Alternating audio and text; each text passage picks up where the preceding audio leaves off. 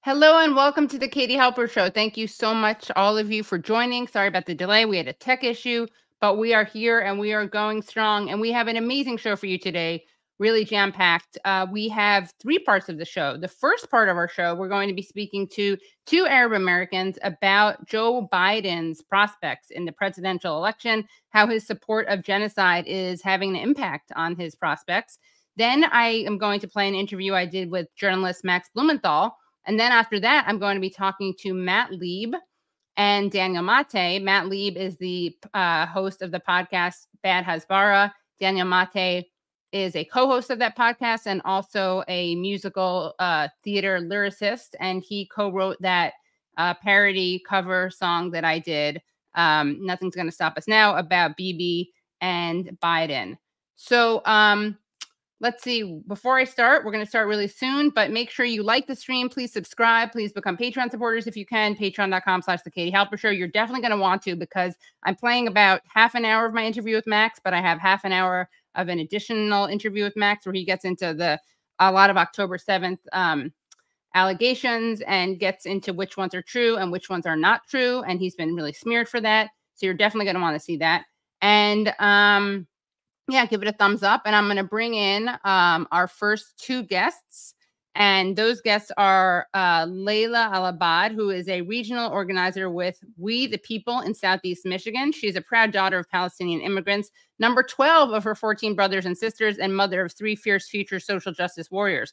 Layla has been a longtime advocate for intimate partner violence and sexual assault prevention, environmental justice issues, voter, sorry, whoops, uh, uh, voter rights and movements that amplify justice and the voices of Black and Brown communities, she continues to engage the collective power of her ancestral roots and her learning to shift and empower marginalized communities for equitable, sustainable change. We are also bringing on uh, Saba Saed, who is a student at Michigan State. Uh, she is a Palestinian American and she is the head of the Arab Culture Association at her school. And she was also uh, on Face the Nation recently, where she was asked if she would be voting for Joe Biden. So, welcome, Layla and Saba. How are you? Hi, how are you? Good, thanks. You? I'm good. How are you? Good. Saba, explain to us where you're joining us from because you have an interesting background happening right now. Oh, yeah. So, as of right now, this might have to switch to a setting, but as of right now, I'm in this McDonald's randomly and I'm not buying anything. I didn't buy anything. Support the boycott, but because um, the Sterling Heights, which is like an hour and a half from where I live, they're having their city council, and they've been the constituents of like Sterling Heights have been asking for a ceasefire resolution. They keep denying them, but one of the councilmen, Mr. Councilman Mike, he decided to retweet my video a lot of the times, saying so many things and then first was saying like this is the dumbest thing what is my timeline and then the other thing was that he said these people are ushering their doom and it was like again the picture it was the video retweeting of me and Thassin, who's my co-panelist on Face the Nation. And I'm like, sir, maybe focus on what your constituents wants and get off Twitter and people won't be mad. Nice. But, so you're gonna speak truth to power to him tonight? Yeah, somebody um this one girl she reached out to me and she said hey like i think it would be like very powerful if you were to come to say it because i was going to speak on your behalf on this but if you can make it and yeah i forgot that it was today and the time. Okay. Yeah. So let's play this video that uh, caused such a firestorm of you on face the nation.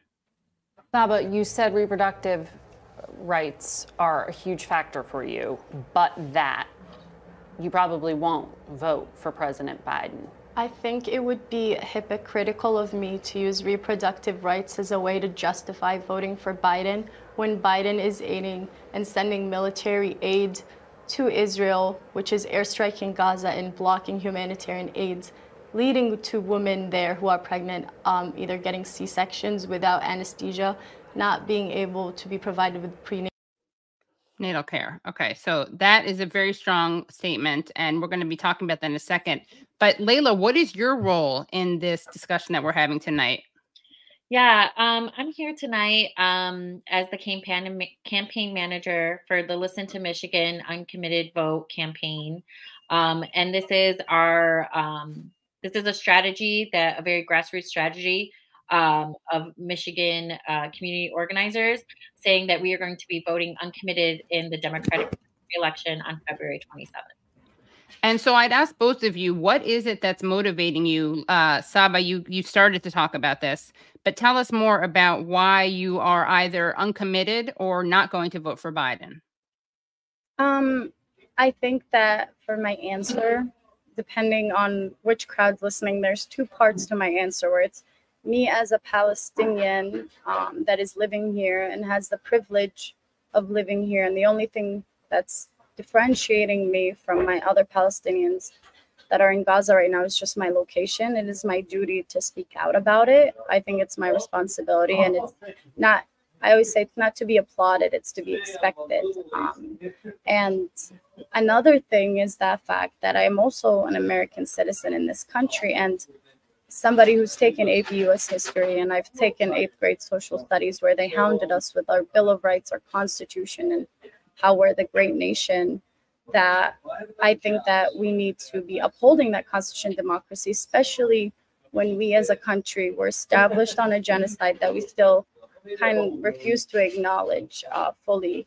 And it's still controversial to acknowledge the fact that we were built on slavery and segregation and discrimination in the name of a democracy and we go to other places claiming that we're helping them out because they're so savages and whatnot. So i think that as an american it's also my duty to make sure that those running in office don't they practice what they preach because if we're going to be the greatest country of them all we need to be actually doing that you know? Actions speak louder than words so I think that it's every American's responsibility actually to call out our politicians. Um, but yeah. And Layla, tell us more about this initiative, this project that you're launching, what it's going to be doing. Yeah, so with this um collect because really it is a collective effort. There's no brand, there's no um, one organization affiliated um, with uh, Listen to Michigan because it is such a um, it's such a it's something it's an action that resonates with so many um, folks from uh, the Arab American community, the Muslim American community, but also the anti-war and pro-ceasefire voters. Um, so it's it has been a collective effort of all these amazing organizers, and we have support from uh, local and uh, national um, organizations as well as our electeds. You know, our um, our uh, Mayor Abdullah Hammoud is 100% supportive of the efforts of Listen uh, Listen to Michigan and the uncommitted vote. Um, and you know, right now, President Joe Biden he is not representing the 80% of Democrats who want a ceasefire or the Muslim Arabs and young people who don't want to put who put him in office in 2020 because it was largely the Arab American Muslim vote that got Joe Biden to win his election in 2020 in Michigan. Um, we are now out protesting his policies in the streets.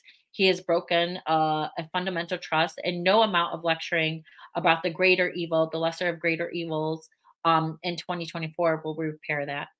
So I'm going to ask you about that because you're er, you I'm sure you get this all the time, right? That oh, you're yeah. enabling Trump, Trump's a fascist, Trump is worse than Biden, Biden's bad, but it's going to be worse under Trump. Mm-hmm. So what's your guys' response to that? Well, we're aware, well aware that Trump is not our friend.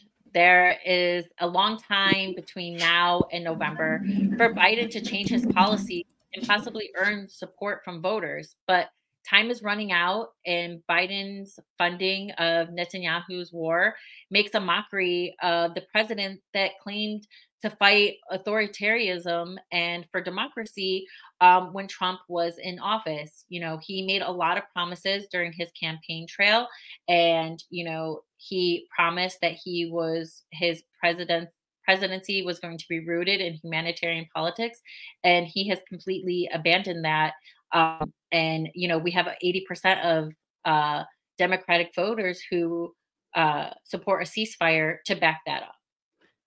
And what would he need to do to earn your votes and the votes of others? You know, the very bare minimum to even begin talking about what support from the Arab American community, the Muslim American community, and the pro ceasefire community, just to have those discussions, um, minimum would to be to support a permanent ceasefire in Gaza and to reevaluate his policy around um, military funding to Israel. Um, and we make no promises, but this is this would be a start to Right. to gain our trust. And what about you, Saba? Um, I kind of will like answer that like whole thing. Um, first for Joe Biden to win my vote, I think that it's going to be hard. Um, as long, um, I mean, the only thing, a permanent and immediate ceasefire is kind of what's expected right now. I'm not going to be voting like that's not just going to solve everything. And I think that um, that military aid that is going to Israel if you're going to acknowledge Israel and the fact that you were helping them in the right, you know, to defend themselves, and under that premise of you trying to make sure everything is peace and good, using that same money when you do call for um, a permanent ceasefire into fixing the damages that we got caused in Gaza and ensuring that the siege is lifted on it and then also, actually, I don't think that he should be running again. I mean, he did violate the Constitution, no consequences there. So, actually, initiating those steps and then stepping away to let somebody else, um, because that's like at some point you messed up too much. You need to pay. You need to be. You need to pay for the mur like genocide joke. You've murdered over thirty thousand people, and you don't get just like uh good job now you're doing a ceasefire um, i think that i've gotten a lot of the comments about trump as well and it's um it's baffling to me because a lot of the comments are like well have fun when he bans um, muslims so you're basically telling me that i have to choose between a president that violated the constitution and another president that is saying publicly that he will be violating the first amendment right your freedom of religion.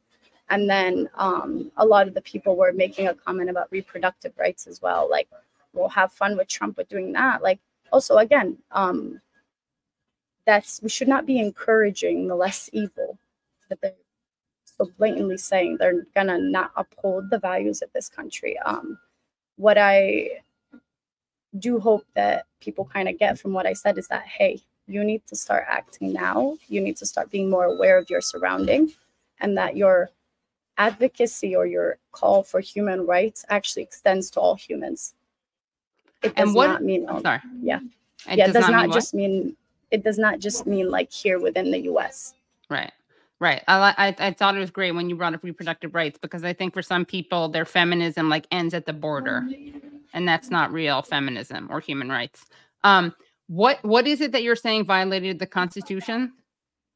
When um I'm not fully like knowledge knowledge on like the details of it, but when Joe Biden bombed Yemen without the approval of Ah, Congress, right. that is a Yeah. big no-no. Um, Right. and Exactly. Yeah. I'm not sure if surpassing Congress for more aid is just like a law or it's more in the Constitution that you can do that. But I'm pretty sure, based on my knowledge in eighth grade US history and whatever, the point of I'm sorry. Uh, if you look it up early, like, the point of it is to have Sorry about that. Sorry about that. we shouldn't have a central power and that's why we have the checks and balances system Right. because we were so afraid of a central power but it seems as if right now it's joe biden's word Right. and is that not a central government in a sense right. Um, He's they- taking. He's he's yeah. saying that he can do things without seeking congressional approval, and it's interesting because Yeah. there's certain things he pretends that he'd love to do but can't without congressional approval, and then he doesn't do them. Yeah. yeah Um, and Layla, I know you have to run off, and thank you for your time. I know how busy you are. Any final words that you want to share? Also, would love to hear uh, briefly about your family's experience in Palestine, and if you still have family Yeah. there, where you were born. Yeah, I know? have. oh, I have my whole um on my mother's side. My whole family is is there um in occupied West Bank. Um, and actually, my mom was in Palestine. She was in Palestine, uh, visiting her family when during October when this all happened. Um, and so it was, you know, I, I felt stressed. I, you know, said today, like I've never watched Al Jazeera more in my life than I did during that time. Um, and I, I just remember every day just this this worrisome and you know uh, just really worried for my mom and not really know what was going to happen. And I just can't imagine what it's like every day for our brothers and sisters in Palestine and Palestine and Gaza right now um, as they are experiencing a genocide and an apartheid. Yeah. Well, thank you so much. I think I think Saba had Yeah. to run out. I just wa- want to make a quick comment of is that this uncommitted campaign moves across, you know, um, cities and uh, ethnicities, ethnicities, religion, um, and it's a really a vote for um, humanity. So, you know, whether, whatever your politics are, if you believe in humanity, then vote uncommitted February 27th in the Michigan Democratic primary. Great. Okay. Thank you so much. Anything Thank else you. you. want to say? No, thank you so much for Okay. having me on. And we'll we'll link to the website. Thank you so much. And and for people who aren't in Michigan, what should they be Yeah. Um, well, Sorry. there's right now there's a lot of like national talks that we're talking to other um other states that do have an uncommitted option or you know there there are other options and we are actually working um on what that might look like how we can connect other states into the uncommitted campaign so more to come in the future Great. Thank you so much. thank you bye bye You too. Now Saba is moving into a car, and I'm not sure if she wants to join us again or wrap. Um, let's see. We're gonna have to make some. Let's see. Uh, and by the way, guys, well, I'll I'll I'll, I'll yell at some of you guys later. Thanks to everyone for the support. Thanks for the gifts. Saba, give me a thumbs up when you're ready to to join again. Okay, Saba's back. Great. Let me unmute you. Hello. Okay, hi again. I'm so sorry. It's probably I hope so McDonald's pays you for this product placement. Look at that; those two golden arches right behind you. I'm just kidding. We can rotoscope that out, Katie. Yeah, yeah. I'm just kidding. Yeah. They offered me a free drink and I said no. Wow, that is that is principle. It was like a McFlurry. Mm. You're a stronger woman than I. Wow, I they offered you a free drink. Wow. Yeah, but I said no. I was strong for the cause Yeah. and covering them. They don't deserve this. Boycott McDonald's. And I know you have to get to your meeting to and and definitely I hope someone videotapes. Oh, well, how? Oh my god, I sound like so old. It's live. I hope someone- Oh, great. So we can play that later. You're you're speaking to that councilman. But um, any final words before you go off to to to speak to your elected officials? Oh, if it's good with you, I can stay on for longer now that I'm like in the Oh. car. That was the point of the transition. Got it. Okay, sure. Um, yeah, Yeah. so like if that's good, but if the audio is not good, then feel free to tell me. No, it's okay, then- right, Brad? Yeah. Yeah, it's okay. Yeah. So tell us what else you would like people to know about um anything that you want to share about how you came to this decision, also your experience in Palestine, because I believe you lived there until you were 10. Yeah, and I visit every summer. Wow. Okay. So what is Yeah, I was just there this what- past summer actually. Yeah, sorry. No, no, no, no. And how what was it like? And how is your family who's there right now? Um I love going there. I mean, I feel like it's home in a sense and um I think that I didn't realize what it feels like to like feel like a home till you leave and you're walking there and you just feel like okay, this is like my street, like my like I know these people um and I think that it might be biased because I'm Palestinian, but I think that being Palestinian really allows me to like honor being Arab as well, and it makes me proud of it because we are at risk of we are being actively ethnically cleansed and stuff like that, and it's making me want to dig more into my culture and like fight for it. So it's make it's growing that like pride in it as well. Um, I mean, I loved growing up there. I went to a Greek Orthodox school. Um, so it was always good like celebrating christmas and then the i'm muslim so celebrating eid and seeing the community there.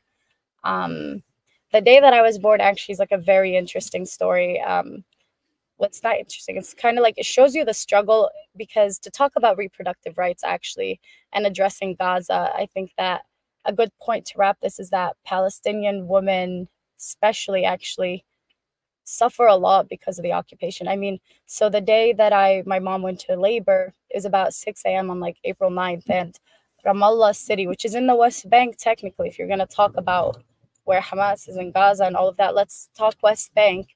Um, it was under siege, so no one was allowed to leave their houses. You're shot if you leave. So my mom started going into like active labor, and so she called her doctor. His name was Yusuf Barghouti. Like he's well known in like the politics of it. And she said that she's going into labor. And it wasn't until 12 hours later that um, that the uh, paramedics were able to get there. And they told my mom, they said, you speak slowly and you come into this and we're going to drive very, very slowly. And they had to be careful when driving, not to turn their sirens on or anything. And then luckily enough that the soldiers around the, ha- the apartment in which we lived in at the time, my mom lived in at the time, luckily enough they were on a break to eat lunch or something and then they um, she was able to get to the hospital. So to talk about women's rights and reproductive rights extends to all the women in palestine whether it's in like the west bank or even in like gaza because to truly believe in reproductive rights is because you believe that the woman should have those guaranteed. And that means any woman of any background, of any religion or any affiliation, because it's a moral, it's a moral value that you have. It's not a political agenda. It's a moral value with that affects a human life. Yeah. And uh, yeah, thanks for sharing that story. And uh, as people probably know, things like that in terms of checkpoints happens all the time and people will die because a soldier just doesn't want to let someone through an ambulance Yeah. through yeah No, yeah. That was it was in 2002 so the entire city was on lockdown. It wasn't a, like the but there were there is check there were checkpoints after that like when my grandma would come babysit me that she would have to go through it.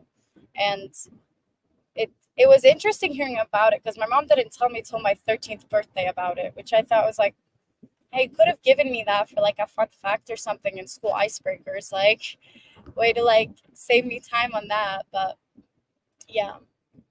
any other stories you want to share about your family or about your Um, experience in palestine I think that I think something that I understood because I've been doing a lot of work on campus talking about Palestinian students and advocating for that. And then I passed a resolution within our student government two weeks after um, the October 7th, basically making sure that the university is aware that Islamophobia and anti Semitism are going to rise, um, that Palestinian students and Arab and Muslims should not be blamed for the action for the group, and that extends to also as well Jewish and Israeli citizens. They should not be blamed for the action of the government.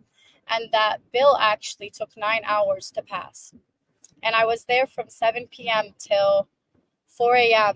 And we passed that resolution, which was a big, big step um, for us because it hasn't been like it hasn't happened. And we got the student government to release a to release a statement as well. Um, but um i think that like see wait i forgot where i was going with that like i've like lost my train of thoughts it's okay because you're literally you're handling a lot and you're literally in a car um no yeah about a route so you may get lost um wait what was the I- question again so just sorry. about your experiences in Palestine or your family's experiences.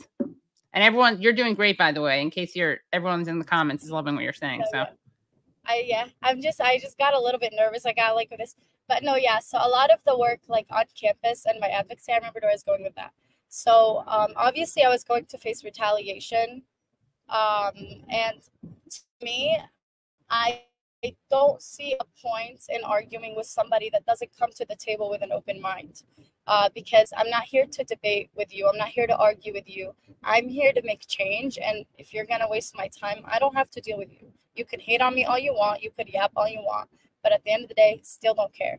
Um, so I think with that, I've spoken to a lot of uh, students that may disagree with me politically. I think um, even more pro Zionism students. I wanted to understand that perspective and the meaning behind it and why what I was saying was so offensive. Because I think there's nothing wrong in learning. and um, I've spoken to a couple people that grew up in um, Israel, the occupied Palestinian territories. Um, they were sharing kind of what it like is like for them there, and then to me as a Palestinian whose entire like family lineage, I'm like I can't blame these people for falling in love with the land. Like going to Palestine, being on the land, you're gonna fall in love with it, and I think there's nothing wrong with sharing that and appreciating it um, and honoring it. So that's just kind of like something that you know using my stories of growing up there and sharing that with people like and seeing the other perspective it's like i don't blame you for wanting to stay. I want to stay too. But here's how we do it like the most the least harmful way and the most respectful way because we don't want history repeating itself i think. And i um i do a lot of my work just in hopes that like my family like back home can see it. I don't send anything to them. I don't tell them. I don't even tell my mom about the face my mom is here but i didn't tell my family back home about face the nation because it's like i'll know that i've done good awareness to this is like when they find out find out about it on their own um because i know they watch the news and they keep up with it um and that's something that like is i'm hoping one day it will happen um, I just always known like since I was very, very, very little, like something in me like was pulling me towards and like guiding me, being like, hey, like you are Palestine, like obviously matters to you, but it was a deep connection. Like once you're older, something's gonna change. You're gonna help make it change. And I forgot about that thought up until these past few months when all of this is happening. And it seemed as if like I'm very grateful for all the opportunities that are like lining up for it. Um, I know I like went off track to the question. No, it's great. but, yeah. like, yeah. Well, well, thank you so much for joining. We'd love to have you again. Next time we'll do it where you're in a stable place so the sound is good. But I totally understand you're doing important things. So and everyone Yes, as you'll see when you're watching later, the comments are very positive. So so I'm thank you for joining and come back and good luck with uh, speaking truth to that uh, councilman. Thank you. If anyone wants to watch it, it's live streamed on YouTube, or you can watch it after. Stay tuned on this show. But thank you so much for having me. I'd love to be back when I'm in a stable environment. And I'm very sorry, like it had to come to this. No, don't apologize at all. This has been great. Yeah. Thank you. Have a great day. Thanks. You too. Bye, Saba. Bye. Bye. Okay, that was great. All right, guys, don't go anywhere. This show is just it's we're going to keep on keeping on because right now uh I'm going to play an interview that I did with Max Blumenthal, but hold on, Brad, how are we with the likes? And Brad, we got to give our members stuff cuz we got all these members joining. Next week we're going to have some new Bodhi emojis. Make sure you become Patreon supporters too if you can at patreon.com slash the Katie Halper show. And you're definitely going to want to do that because Ma- my max interview is uh only half an hour and there's a whole half an hour or more I am seeing roughly 900 and change likes, which is not is bad but not 50 great 50, I mean, that's 50%. 50. uh, i'd yeah. like to think that more than half of the people watching oh hey rick glad you're feeling better i have a friend in the chat who just stopped by who i'm glad Oh. to hear is better I'm glad um feeling better too.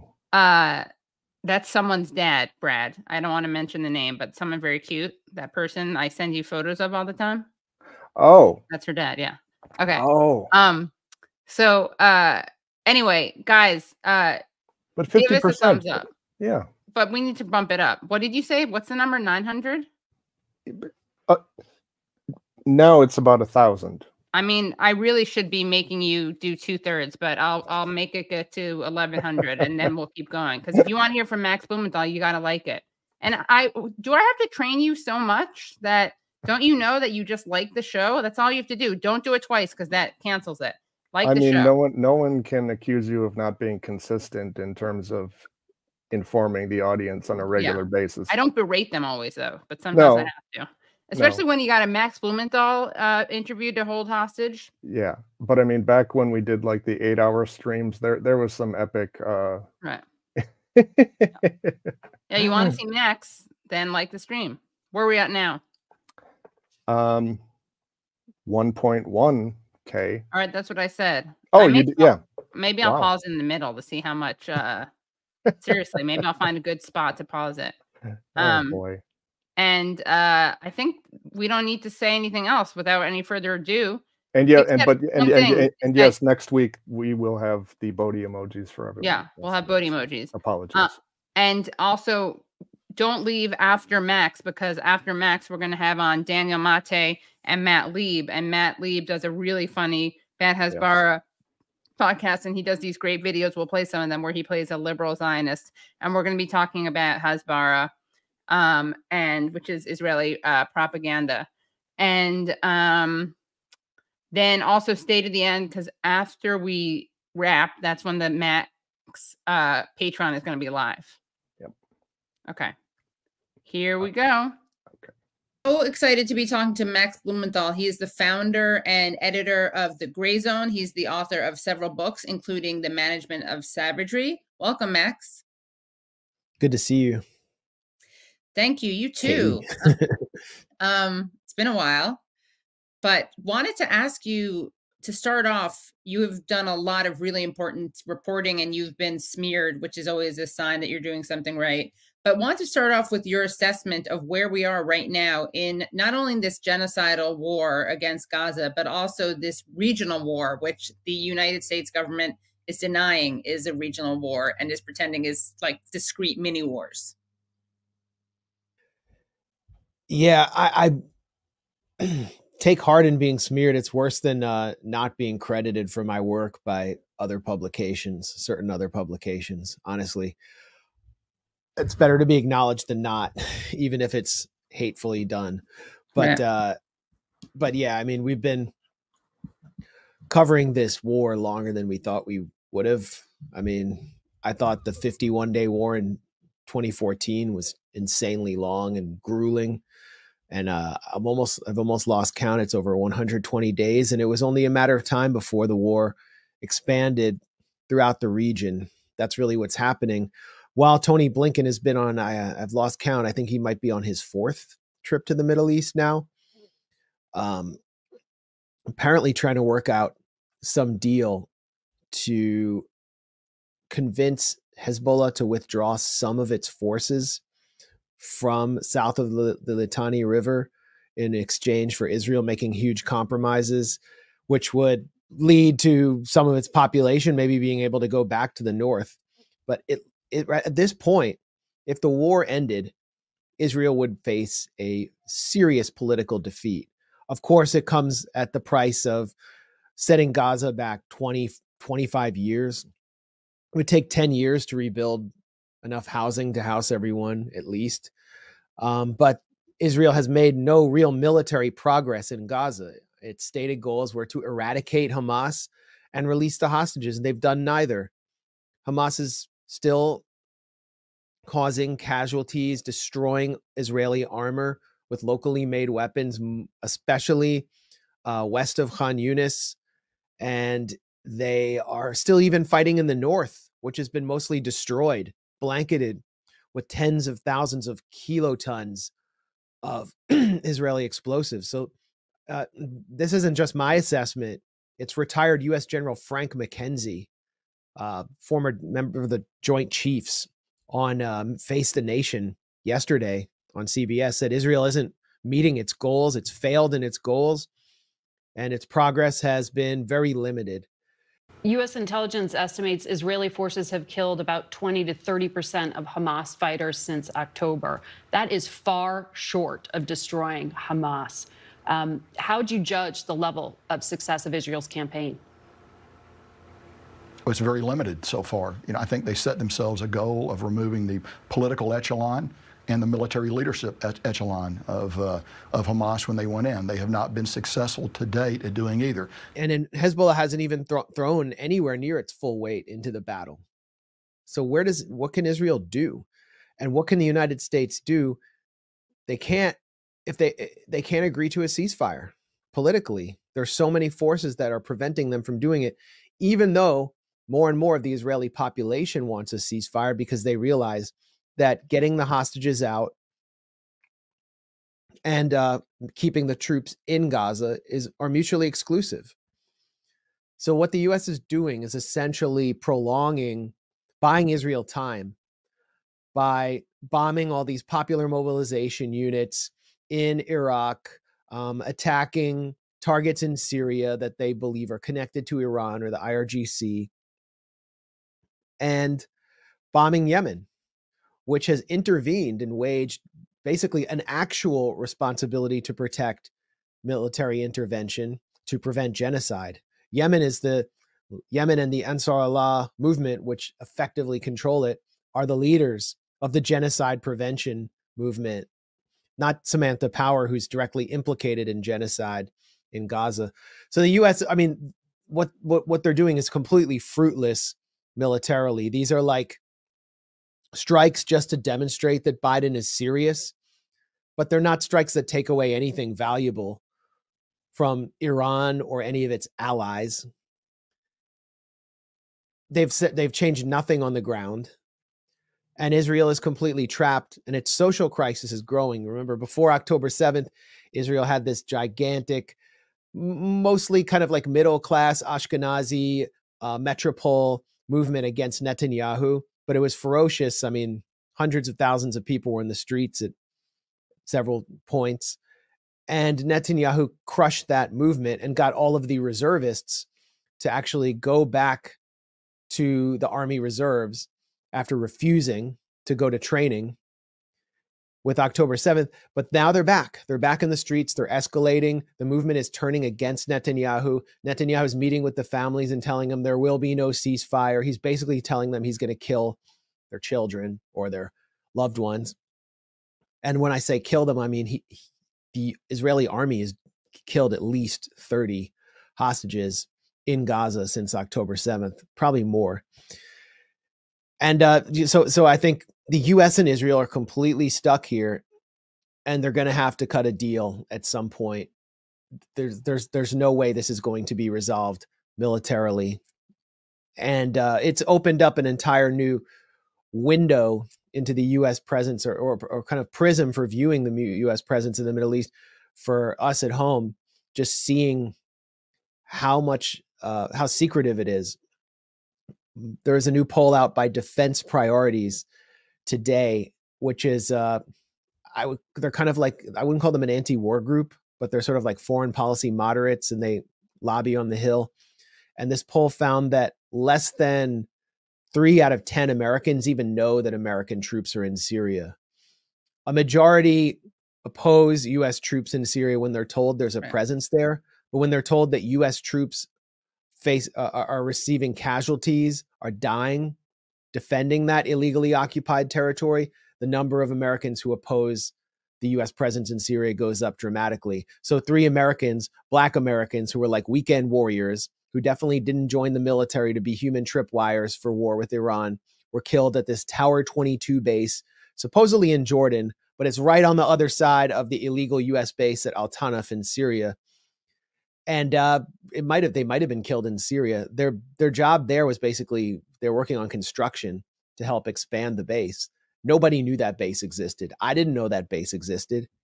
Jordan has denied that the uh, that the, the that they were killed in Jordan. So we still don't even know the full story here. So the but the what the US is doing is defending this archipelago of bases there now that aren't popular among Americans. They're prolonging a genocide in Gaza, and there is no clear diplomatic exit ramp that's being provided by Tony Blinken because they're not using the leverage that they have over Israel. They refuse to do it.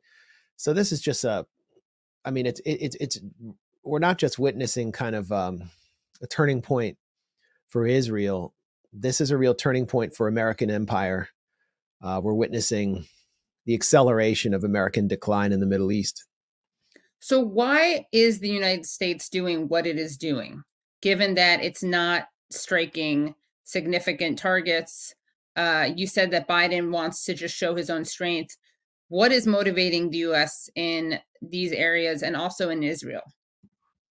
Well, they're defending Israel's strategic depth, and and as Jake Sullivan said, NSC Director Jake Sullivan I guess it was on Meet the Press yesterday, and I can't believe they're still saying this. They Israel needs to fight this war until Hamas is no longer a threat.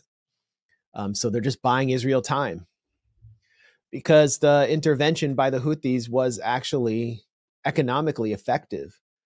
And, you know, sort of like the old OPEC boycotts where they would actually get together and, and turn off the tap um, in protest, for example, of Israel's occupation of the Sinai Peninsula. And that's the Back when- Organization of Petroleum Exporting Countries. Yeah, back when the Arab states weren't completely controlled and co opted by the West or largely controlled. I mean, what you have here is a collection of non state actors, some of whom effectively control states or have a large stake in states, like Hezbollah has a huge stake in Lebanon, which is why they're not uh, excited for escalation.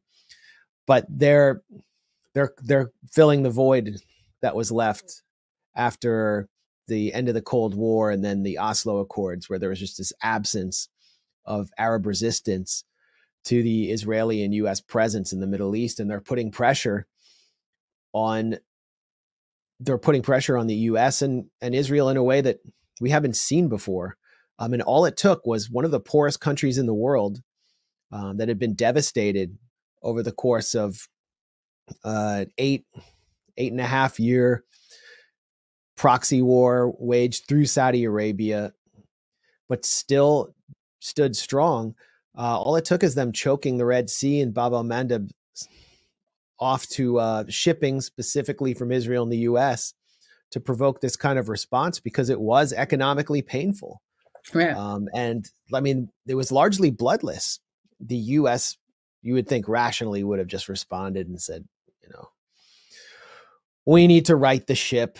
We need to turn down the temperature. Our troops are at risk. By that point, when the Houthis or Ansar Allah started their blockade, Biden said U.S. troops will begin to take casualties because, like um, Kataib Hezbollah, which is a, a Shia-oriented resistance group in Iraq, was starting to wage drone like drone swarm attacks on U.S. bases. So Biden called it. He knew U.S. troops would die. He could have prevented those deaths. Those three Black American soldiers would still be alive if he had just imposed a ceasefire, but they can't do that. And they can't do that for political reasons, domestic political reasons. Biden will face uh, abandonment of donors to his 2024 reelection campaign.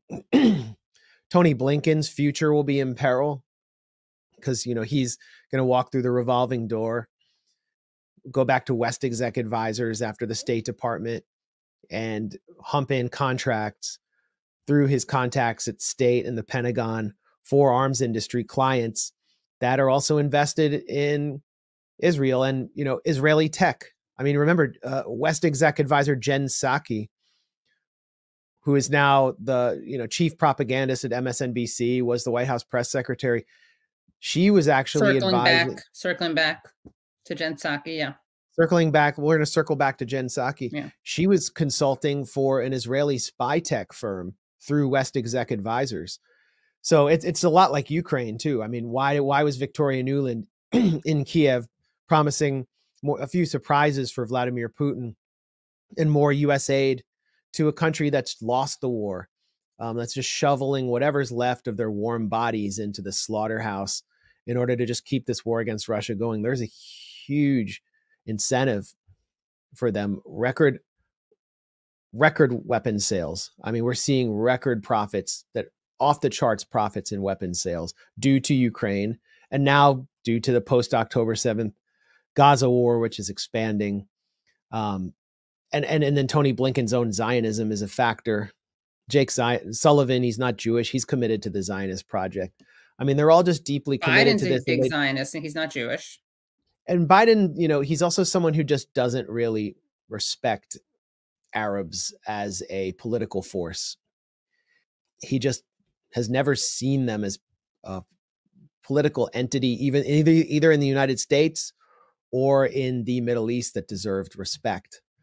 Um, and that's that, that that's clear from his reflexive reaction to October 7th, where he bear hugged Netanyahu. Tony Blinken went over there to uh, went to Tel Aviv and said, "I come here as a Jew," and that was the moment that he basically forfeited all influence and leverage, as well as his diplomatic status. At that point, he was just Netanyahu's bitch, or he was like Netanyahu. Netanyahu was like the bar mitzvah tutor, and he was the bar mitzvah boy. That's what it really felt like at that point. And that's a role that Netanyahu l- loves to be in. Um, he sees himself sort of as a mentor to US presidents to help them understand the Middle East. And he speaks to them about this Hobbesian jungle that only he understands and that the Arabs only understand force. And now it's clear, and you know, everyone in the Biden administration knows they kind of got played. They reacted emotionally, and now um, they are being, I hate to say dragged in because the US is there for, you know, reasons of its own. But they're being dragged into a situation where they don't really have a clear strategy. They don't have an exit strategy, just like we would, just like George W. Bush's people said. And and it's not like uh, it's it's it's not very uh, complex. I mean, this is pretty simple from kind of a, a the from the point of view of American national interest and real politics. It's pretty simple. You just tell Israel they're not getting spare parts for their F-16s, and the whole thing ends. Right. They wouldn't last a second, but they won't do it. Um, and this is a real reason to oppose Biden uh, because it means you know his base by massive margins supports a ceasefire. I was driving around Capitol Hill today, walking around. For the first time, there are no Ukraine flags up, and there are ceasefire now signs Hmm. on like every block. There's a house that has a, cease, a full ceasefire now sign. Um, you know, you I, I s- I watched the Grammys in a sort of act of masochism last night, and you know I was impressed that Annie Lennox made the call for a ceasefire. Marches for ceasefire, peace in the world. And she was, you know, embodying Sinead O'Connor singing "Nothing Compares to You." Right. Who was O'Connor critical a of Israel. Yeah. She was a vocal supporter of Palestine. Yeah. You know, so I looked at the list of celebrities who had signed on, and like these were A-listers. There are major people there, uh, including like Dua Lipa, who opened the Grammys, uh, and you know was up for awards. Right. So it's clear that a, you know a certain line has been crossed where major celebrities are no longer afraid of threatening their own bottom line. These are people in Hollywood, but also people in uh, the recording industry. And, uh, you know, the liberals, the DC liberals are starting to openly oppose the genocide with full ceasefire now signs, which are like, it's, it's not like no to the genocide, but it's still Yeah. something that is becoming kind of a cause celeb. Yeah. I mean, it still harms you. Like Susan Sarandon is is got canceled. But if you're really, really, really rich, No, because she did it early on. right, she did it. Yeah, she was ahead of the curve. She right. already knew. A lot of these people are just waking up right, And good on the them for horror of up, yeah. Israel and Zionism. right. And you know, the you got to understand, like that area on Capitol Hill, like those are like the Hill staffers. Those are where people who actually have real skin in the game with the Democrats live. When uh, in 2020 they would have huge homemade signs up, like like "Bye Don." It would be Right. like a buy. It would say Biden. It would be like in the Huh. Biden font, but it would say by Don." And they home they made homemade signs for Ruth Bader Ginsburg and put them on their lawns when she died. And now these signs are going up. So this is and this is and this is uh, at a point where Donald Trump is beating Biden in the polls or leading Biden in the polls. There are new polls that came out. I think it was like a CNN poll showing that a vast number of Americans trust Donald Trump more on the economy, like by 20% than Joe Biden, even as supposedly the job reports are good. Right. So what I'm saying is like Biden is facing so much pressure from his own base to do a ceasefire and he still can't do it. He would rather bomb popular mobilization forces that fought ISIS Right. and defend de- secret desert bases in the hinterlands on the Jordanian Syrian border than do what his own base wants. And uh, that really shows you what the Democratic Party is, what Joe Biden is, what Nancy Pelosi is, barking at protesters outside her. Uh, outside her home, her mansion in San Francisco, that they should go back to China where their headquarters is. So That's what she said. Yeah. Uh, that the FBI should investigate them. You, you're seeing a real disconnect. Like the Democratic Party elite is still stuck in the Trump Russia era, and they think they can still get away with those old tricks, and it's just not working with their own base. Well, I'm going to ask you more about the uh, presidential elections, but I just wanted to ha- show, uh, have you react to a little video since you brought up Annie Lennox. Noa Tishby, friend of the show, Noa Tishby, who uh, identifies as a um, former special envoy for combating anti Semitism and delegitimization of Israel, mom, author, acting, producing. And she's been talking to a bunch of people like uh, Brett Gelman, who I'd never heard of before October 7th, honestly. Um, Debra Messing, Michael Rapaport, that s- s- insane British guy who wrote the screenplay to Borat. Uh, but here she is reacting to Annie Lennox. So let's take a look at what she has to say. Uh, did you see this? Is this going to be like a real time reaction? Yeah. Okay, great. Hi, everybody. So uh, tonight, the Grammys were hijacked in favor of Hamas agenda as called for a ceasefire, denying Israel's right to defend itself and also not calling for the release of the hostages. So basically, giving Hamas exactly what they wanted. You know, I think that next time a singer wants to do something that's good for humanity, they should probably call on the release of innocent women and a baby and a toddler from the hands of a genocidal terrorist organization. I think that's probably a good idea. Wow. So much to unpack there. Yeah. Hijacked for Hamas, hijacked for Hamas agenda. Yeah. I know. hijacked for Hamas agenda. I mean, if she if she didn't have like a decent American accent, I know she was born and raised in Israel. Yeah. That would be more forgivable. Right. I know. Yeah, you just got that. You just need that indefinite article in there, Noa. And like, come on, who are who is she? She's not like some. These people are so such like D-listers. That's they why they really sign are. on to these jobs. Right. But uh, But what also like this speaks to what you were talking about before, the idea that it's that it's a that a ceasefire is mutually exclusive with bringing hostages home when obviously it's the exact opposite. Like the only way they can get hostages home is if they pause at the very least. Obviously a ceasefire would be ideal and that's what we want, they would really rather kill more Palestinians than save Jewish life. Like we all know that they Yeah. hate Palestinians, but their shtick is that they're supposed to be a safe space and a haven for Jews and protect Jewish life at all costs. And they're killing hostages. I mean, they literally shot three of their own. They were speaking in Hebrew, waving a white flag. We've reported on what happened on October 7th. Um, but it's just uh it's sociopathic, this bloodlust. yeah, they. I mean, the, the some of the family members of the hostages are openly stating that they're killing them deliberately to prevent a prisoner swap, which would be politically devastating for Israel's elite. I think you know it could actually be good for the population of Israel to turn down the temperature a little bit, but they're so indoctrinated that major a majority of Israelis support continuing military action indefinitely, um, and don't they they just simply don't understand. And what she's what she's calling for is uh, something that are actually already happened at the Grammys.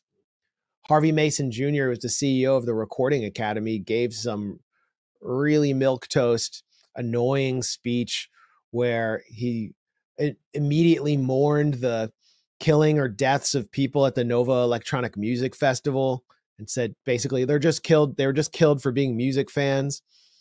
Um, and we've mourned everything and and then and he said 40 of them were taken hostage. Uh, but and we've mourned every day all the tragedies that have happened since. So not mentioning any Palestinians or Right, of course. mentioning how many Palestinians were killed. I guess they're not music lovers. Then he, as he left the stage, four classical musicians began playing, and he said that they were Israelis and Palestinians playing together for peace.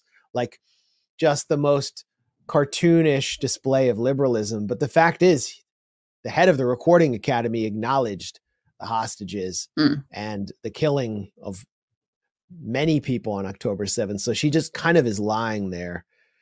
I didn't really see it be hijacked for Hamas Oh, I agenda. lying about that. I mean, one person got up and called for a ceasefire. But I mean, there are there are like hundreds of thousands of Israelis, or at least tens of thousands, protesting for a ceasefire every weekend and camping out outside Netanyahu's house. So I guess that's Hamas agenda too. Right.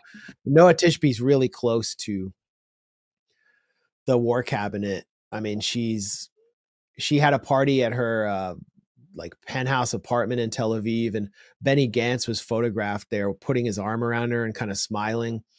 And it became a minor scandal in Israel because, you know, it's supposed to be a nation in mourning. People Ah. are not going about their usual partying and so on. And although they actually are, um, but you're not supposed to do so publicly.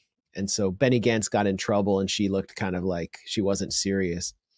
Uh, but Benny Gantz, you know, this is this guy's the chief of staff was the chief of staff in 2014 who oversaw the 51 day long slaughter. Um, I mean, 100,000 people were turned homeless. Hundreds and hundreds of children were killed. I think over a thousand children were killed.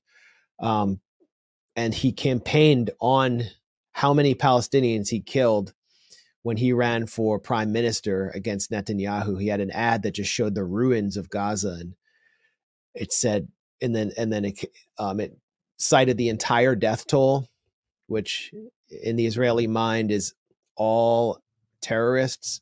Right. And it said something like only Benny Gantz knows how to defeat terror. So gross. So there are obviously people who are saying they're not going to vote for Biden.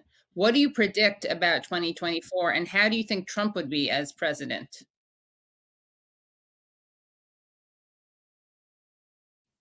And that is where I'm going to leave you on that cliffhanger. So you want to watch the rest of that interview with Max where he talks about what a Trump presidency would be like, where he actually talks about who he thinks should be president next, where he talks about the uh, investigation they did into October 7th, goes through that. Then you can find that at patreon.com slash the Katie Halper Show.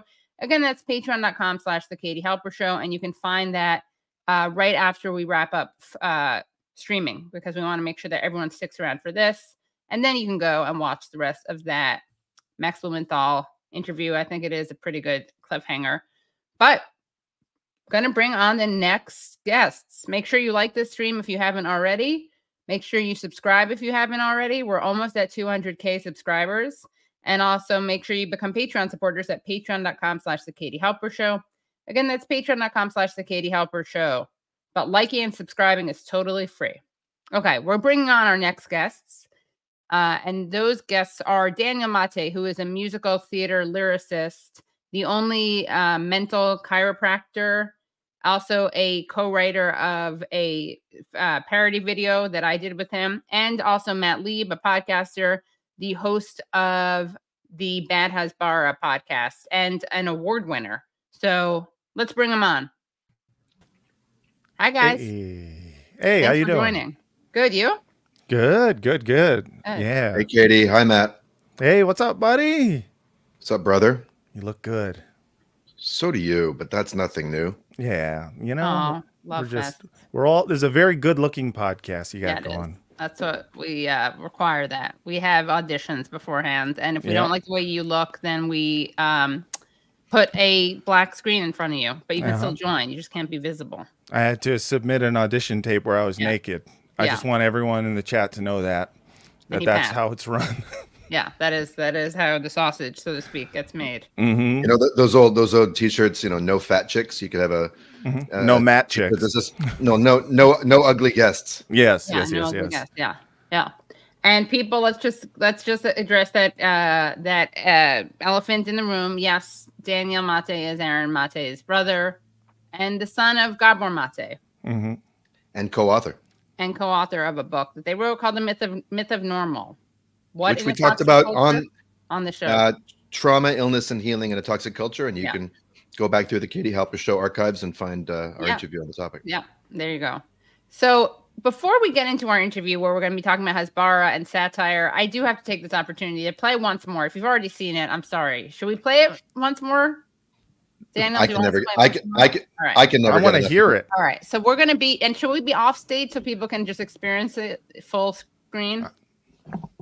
Yeah, I right. mean, otherwise they'll have to see your face while you're experiencing it, and they'll know, see. and that seems a little it's bit like too embarrassing. Yeah, it's too You'll embarrassing. you'll see me slapping my own knee I at my little exactly, jokes yeah, and laughing hysterically. Yeah. Yeah. So this is a video that um, Daniel and I uh, co-wrote the words to, and then our friends at um, Kinky Roach Productions did the video too. And actually, the behind-the-scenes uh, birth of it is I texted Daniel and my friend, and I was like, "We got to do a cover of this song." Um, ain't no stopping us now. We're at the Hague. You know, ain't no stopping us now, and we're at the Hague. And that was Yeah, because the Netanyahu had tweeted tune. out, yeah, the disco tune. That's because Netanyahu had tweeted out, no, no one's gonna, gonna stop us, not the Hague, et cetera, et cetera. But then you came back with your idea of doing "Nothing's Gonna Stop Us," the song by Starship, Yeah, featured in that from- film Mannequin. Yeah, from 1987 with uh, yeah Elizabeth Shue and whoever it was. Uh, yeah, I just felt that number one, 80s pop is more universal. It is. And just in terms of a song form that's parodyable and the the catchiness of the chorus Right. and the the It was a m- much better. and yeah and the and the and the bromance element of what we were going for. Right. That's true. It's a love song. Yeah. Daniel is uh plays voices by Bibi Netanyahu and the wonderful Mike McCrae does Biden. So Th- yeah. Both are perfect, but that Bibi singing is incredible. Well, I had some great I had some so great good. voice coaching from our director Katie. I mean, Yeah. Katie's a little modest, but you were really the brains behind the operation and keeping an eye on the video and the audio. And I did one take of Bibi that just sounded like me, really. Then I had to go back and it was go deeper gorgeous. into my method, you know. Yeah, I, and sort of, I, I encourage you to re to to beebify yourself. Yeah. You, did you like in order to get method? Did you like go Well- down the street and kick a child in the face? I, I went to New Jersey and sold some furniture. Yeah. Yeah, I really, I really became a. I mean, I, I couldn't do it, but but except you know, you really believed in me. You were a, you were a believe BBer. I believe Yeah. yeah, I believe BB or yeah. Yeah. Well, I believe in I believe in both of you. I be believe in you. I be mm-hmm. believing you. Someone in the comments is like, I'm never going to be able to watch Mannequin again without laughing, which I didn't realize people were still watching Mannequin, but nice. You've I don't think Mannequin is supposed to be like a heavy, serious. I piece. know. Like, I, I think you're allowed to laugh during Mannequin. Like, Right. It's it's a like, little- I'll it's a never watch light- Schindler's List or Mannequin again without laughing. Yeah, exactly. Yeah. Both But- comedies. Both comedies, yeah.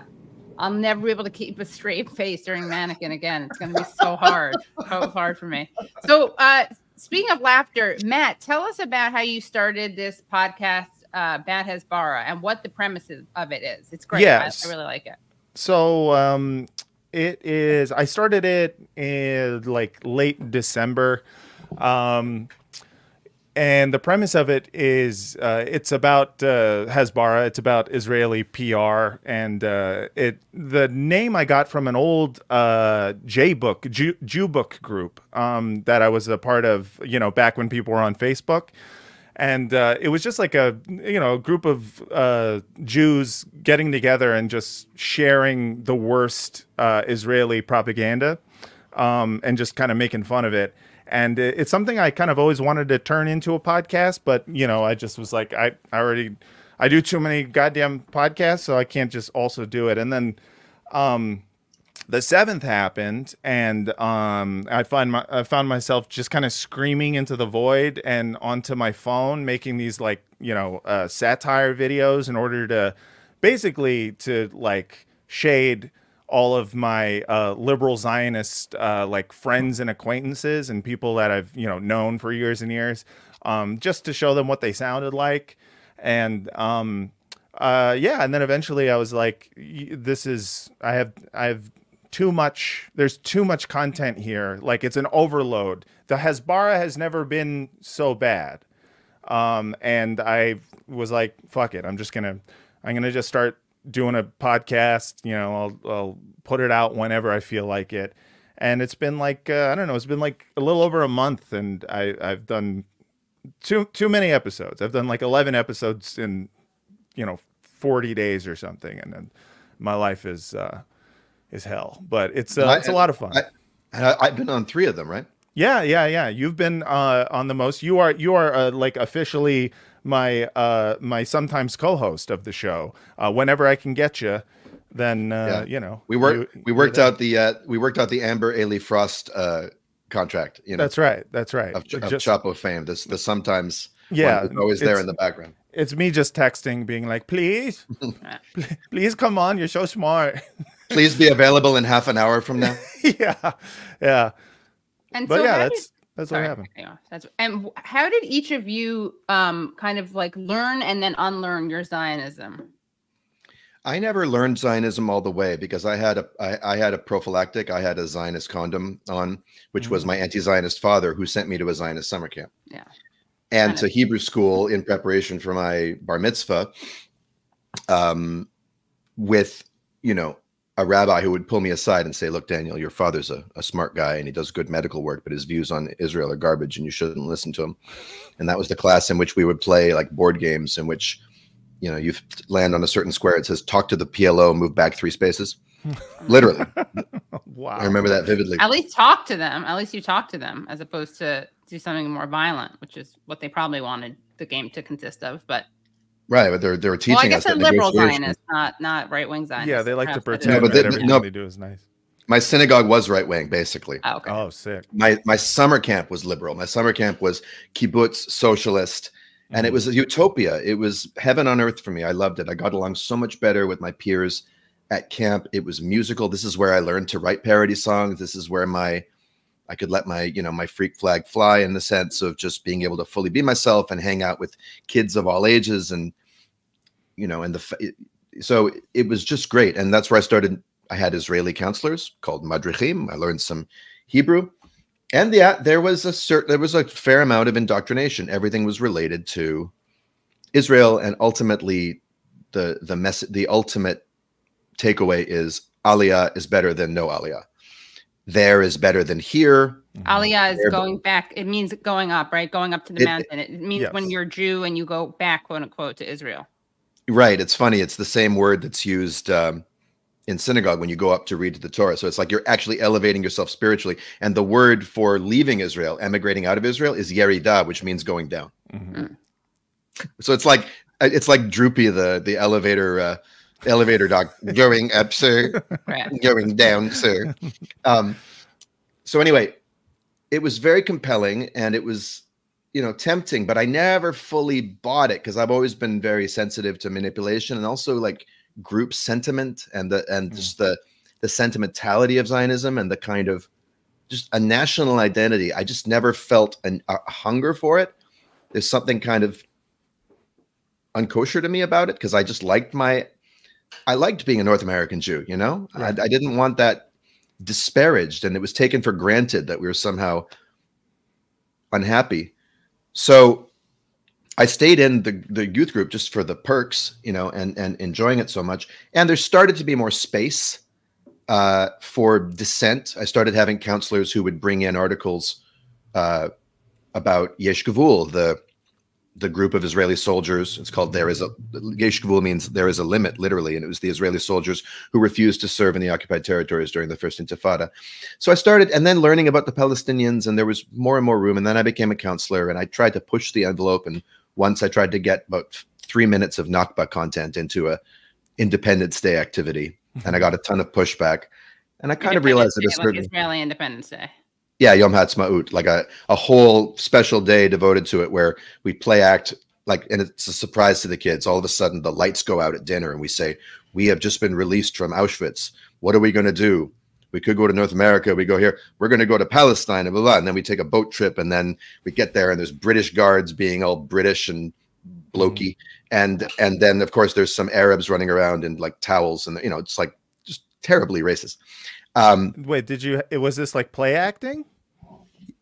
Like, uh, or, or did or did we hire real Arabs? Yeah. No, I'm wondering if you like had the kids like go and blow up the King David Hotel and stuff like that. Yeah, Is right. that No, yeah, it? we it was a there was a selective history, let's say. Okay. Uh, it was You really had people dressed up as Arabs, though. So uh, when I was a, I don't remember if we did it when I was a counselor, but I do remember as a kid, we they would wake us up in the middle of the night. the The activity was called Aliyah Bet, which is the second wave of Mhm. Aliyah in the in the the 1940s. Um, and and yeah, we they'd wake us up in the middle of the night and say we've got to go, and it was always a surprise. And then we get out and then we're using flashlights, and there's like we hear, and usually the Israeli counselors would play the Arabs because they could speak some pidgin Arabic. Mhm. Really help you suspend your disbelief. Exactly. And but that's not the only Arabic content at summer camp. Every Friday night we would do Rikude Am, which is Israeli dancing, which I loved. Ah, And one one of the songs on the cassette for the advanced Israeli dancing after the little kids go to bed, the older kids get to stay up to it, was like an Arabic song where we did some like some, you know, Arabic vibes movement. And that was always actually the best song. Yep. But I'm sure it was horribly um I mean, talk about cultural appropriation. Yeah. So yeah, it's a whole country made out of it. yeah. And Yeah. then what about your time in Israel? Yeah, well, before that, I should also say, speaking of cultural appropriation, and it wasn't just summer camp. Year round, there was something called the Ken, which in Hebrew means nest, and in in your local home city, there'd be activities all the way around to all year round to keep people connected to the camp community. And every year there was something called Neshef, which is a pageant, but we'd always do a musical, and it was always a spoof musical. And mm. I started, I wrote some, and I ended up writing, music directing, and directing a show called Little Shop of Hummus, or hummus, of course, as we pronounce it in the Zionist world. And what's hilarious about this You could- show, it- Israel should make a, a musical called Little Shop of Hamas Mhm. about Little Shop of Hamas, yeah, exactly right. Little shop, little shop of See, you already got hummus, 'em working falafel. Stop at the little shop of hummus. Yeah, I got to rhyme falafel with awful. But the thing is, the show was about ostensibly about cultural appropriation and Jew and assimilation, how Jews are losing their culture. Right. And there was a big mean hot dog from outer space instead of the plant who comes and like Ah. tries to sell him unkosher stuff and takes away his menorahs and whatever. But the, the location of the thing was a fucking falafel shop.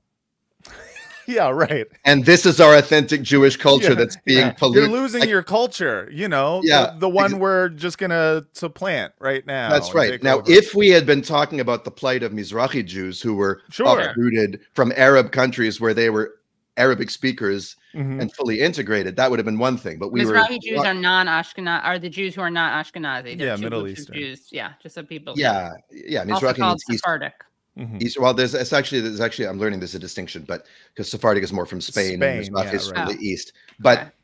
It's yeah, all non-Ashkenazi to me, so it's all Greek to me. well, well, Yeah. th- yeah, I know, problematic. I know, problematic. Yeah, yeah, yeah, yeah. Ashkenazi Well, we're we're, we're, we're all on it. We'll We're all on a unpack that in another episode. we're all on a learning curve. I could We're suggest some guests. I could suggest some guests for you actually. But so anyway, Israel. Just to be brief, there is this w- trip called workshop that kids do after high school. Workshop shall set shall set you free. Mhm. Workshops shall set you free. Oh, Exactly. yeah, that was right over the camp. Exactly. Yeah. Yeah. It's, uh, slang Which arbeit camp? shop. Yeah. Yeah. Actually, if you if you invert the first and last letters of workshop, you get pork show, which is fun. Mm. Um, and you know, and you go live on a kibbutz and you work on a, uh, a kibbutz.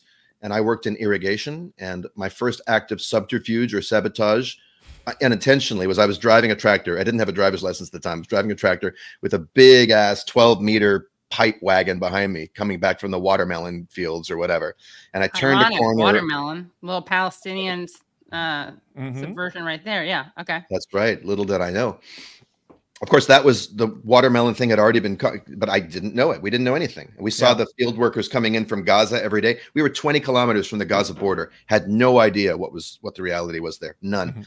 But anyway, I turned a corner a little too sharply, and I heard a a crash and a pop and all. that. And I looked behind me, and pipes, metal pipes, are flying everywhere because there's a geyser 30 or 40 meters high. I ran over the main Israeli water line. That's good. Good for you. It was probably going. To, it was probably going to the Gaza That's settlements. Yeah.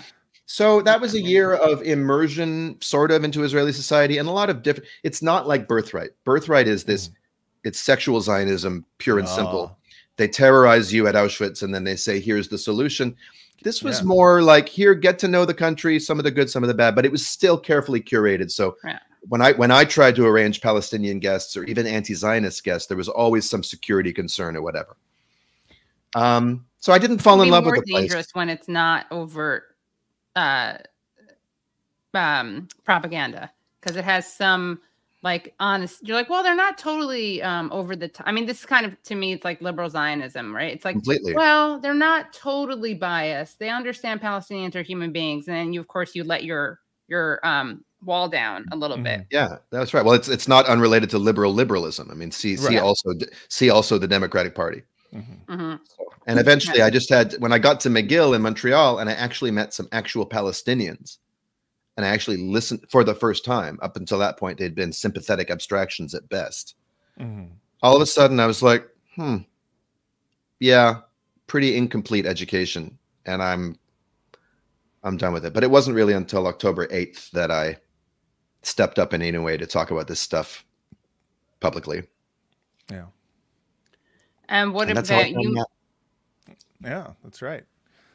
Um, what about you matt Well, for me, I I didn't. I grew up secular, uh, and so, so did daniel right even though i mean you you were secular even though you went to hebrew school right Yeah, I mean, I went to I went to Hebrew school just enough to teach me how Right. to chant for my bar mitzvah. but when you Right. say you were secular matt like you didn't go to hebrew school I didn't go to Hebrew mitzvah. school at yeah, all. me neither Yeah, and so uh, my most of my connection um, to Judaism, other than like you know uh, culturally and uh, um, neighborhood wise and you know uh, whatnot, was through um, Zionism in terms where did you grow up Uh, I grew up in West Los Angeles. okay um, and uh, you know I I went to public school, but you know most of most of my friends were Jewish. I kind of just assumed everyone was uh, there was Jews and there was Christians, and uh, you know, and I was like in between. I was both of them, and so so your family's mixed is that my yeah, I came from a, a mixed family, and uh, so it was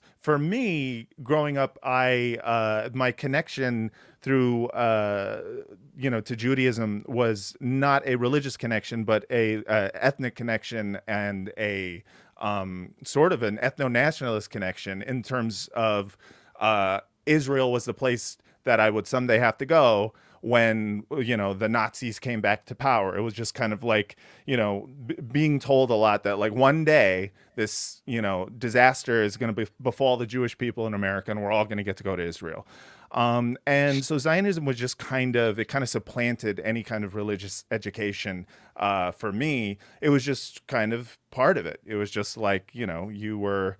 Um, it's funny because like the the idea of the dual loyalty trope is always like trotted out and i was i always kind of felt like you know well you know we're all israeli. Like that was kind of like the thing.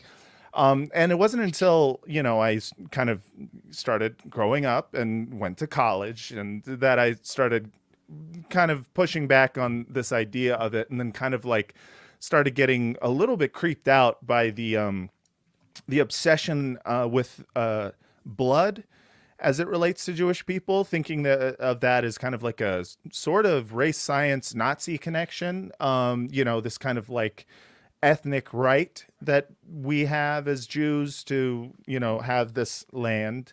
And I started kind of like looking at all of the. I mean, here's the thing: when you grow up in, you know, uh, uh, around a lot of Jews, which most people don't, um, you know them to, you know, uh, be all kinds of people. And one of the types of peoples, I knew a lot of fucking racists. I knew a, lot of people were racist as shit. They were just white Americans, essentially, a lot of them. Um, and that included, you know, the kind of like inter-Jewish racism that you would see, uh, you know, um, between white Jews and Jews of color, and you would see that, you know, we're uh, we're not um, immune from being kind of, you know, assholes. We're we're just people, right? Um, and so once I started kind of like being deprogrammed, uh, and this was mostly through, you know, it's not nothing special at first. It was just kind of like going to college uh, and just being like, oh, damn, this seems like it's fucked up over there. But I still kind of held on to the idea of like, you know, well, you know, everyone should just vote better. You know, the idea of like, if everyone just like voted for the good guy, then, you know, then we could do a two state solution. Totally normal, you know, thing to me. This idea of like, yeah, no, just we should separate the ethnicities. Um, and then it wasn't until Birthright, I went on Birthright in uh, 2012 uh, when I realized um, how much the Zionist project relied on young American Jews in order to push this uh this agenda in order to like And let me just sorry one second. I just want to make sure people watching know Birthright is a program that's for Jews who have never been to Yes. Israel at um at least it, you can still go if you've been with your family, but they've Right. never been like on their own to Israel, and it's a fully paid for trip. yes it's a Want to Jewish- want to hear something something just interesting just to tie kind Yeah. of come full circle. So you talked about the wire, right? Mhm. Well, I recently found out that uh, Gbenga Akinnagbe, who played Chris Partlow on The Wire, is, is a neighbor of mine. yes And we, we went out and had lunch. so and jealous. first of all, he is not nearly as tall as I thought he would be. So Mhm. I, I, but he's still he's, he's incredible guy. Mhm. Despite Um, not being that tall, still incredible. Okay. yeah yeah, I. I, what I meant to what I meant to say is inc- incredibly handsome and attractive, and Yeah. uh, uh, just I was happy to be seen with him. it's a jab at me Um, when he met me he he immediately said matt you're too tall and then he punched me in the nose Right. I punched you in the part that I could reach. right so- uh, the- yeah. i say The nose but it was the The dick But but here's the thing: this guy who is Nigerian born went on birthright. They also let non-Jews. yes yeah it is it is A not black a, a black guy from a black guy from Maryland. yeah Birthright? Why birthright? You just have to be open. Well, I we'll, mean, we'll get we'll get back there's to that. There's all sorts yeah. of different trips right Have so okay. there, there's there's some of the taglit trips are that's birthright some of the birthright trips are uh, religious um some of them are secular mine was mixed jews for the most part uh i, I and mixed non-bar mitzvah jews right. and but so you can do one for non-Jews too, like I, I assume so. I mean, it is they're selling you a timeshare essentially, Yeah. and I think like the with the you know uh, there's got to be Christian Zionist groups. There's got to be all sorts, right? Because it's a sales it's a sales tool. yeah. Um, and uh, yeah, for me, it was all of these like you know uh, non bar mitzvah Jews, and um, it was like literally I had my I had my bar mitzvah in Israel when uh one of the tour guides just was like, "You're a man now," and gave us all like Hebrew names. And uh, I was like, I'm pretty sure it doesn't work like that. I went to lots of bar mitzvahs. Right. I, I didn't. I didn't I didn't do a Haftarah and What's your Hebrew name? so I wanted it to be Dove, uh, Dove, but for some reason, uh, one is Dobby, like the fucking Harry Potter. I, I don't know. Huh. I felt like, I felt like the tour guide was clowning me a little bit, but he called me Dobby, and I was like, I, I get that you're trying to make me feel small because you, you know, I'm six foot six, but Well, that, that would probably be the diminutive of Dove, because the V Oh. and the the V and the B are the same letter. I didn't consider that. Maybe Yeah. he was nice. Yeah, Uh, so like D- D- David becomes duty in, in, in Israeli Hebrew. so there's all oh, kinds of little. Duty. Yeah. Yeah. No one wants to be duty. No one wants to do. Uh, but yeah, so um, when I went there, I realized uh, how important this trip was, not for me, but for them. I realized that it was this like um, really, uh, you know, it was a hard sales tactic. It was like they were trying to make sure that we went back and told people what we saw there, uh, which was, you know, basically what we saw was Jewish Disneyland, in which, like, I went to a country in which they were singing songs that I sang at like Jewish day camp, and I was like, uh, wait, well, this is bullshit. No fucking way. This is a whole nother country. You're telling me you made a whole country out of fucking day camp? Nuh-uh. I smell. This is a red flag.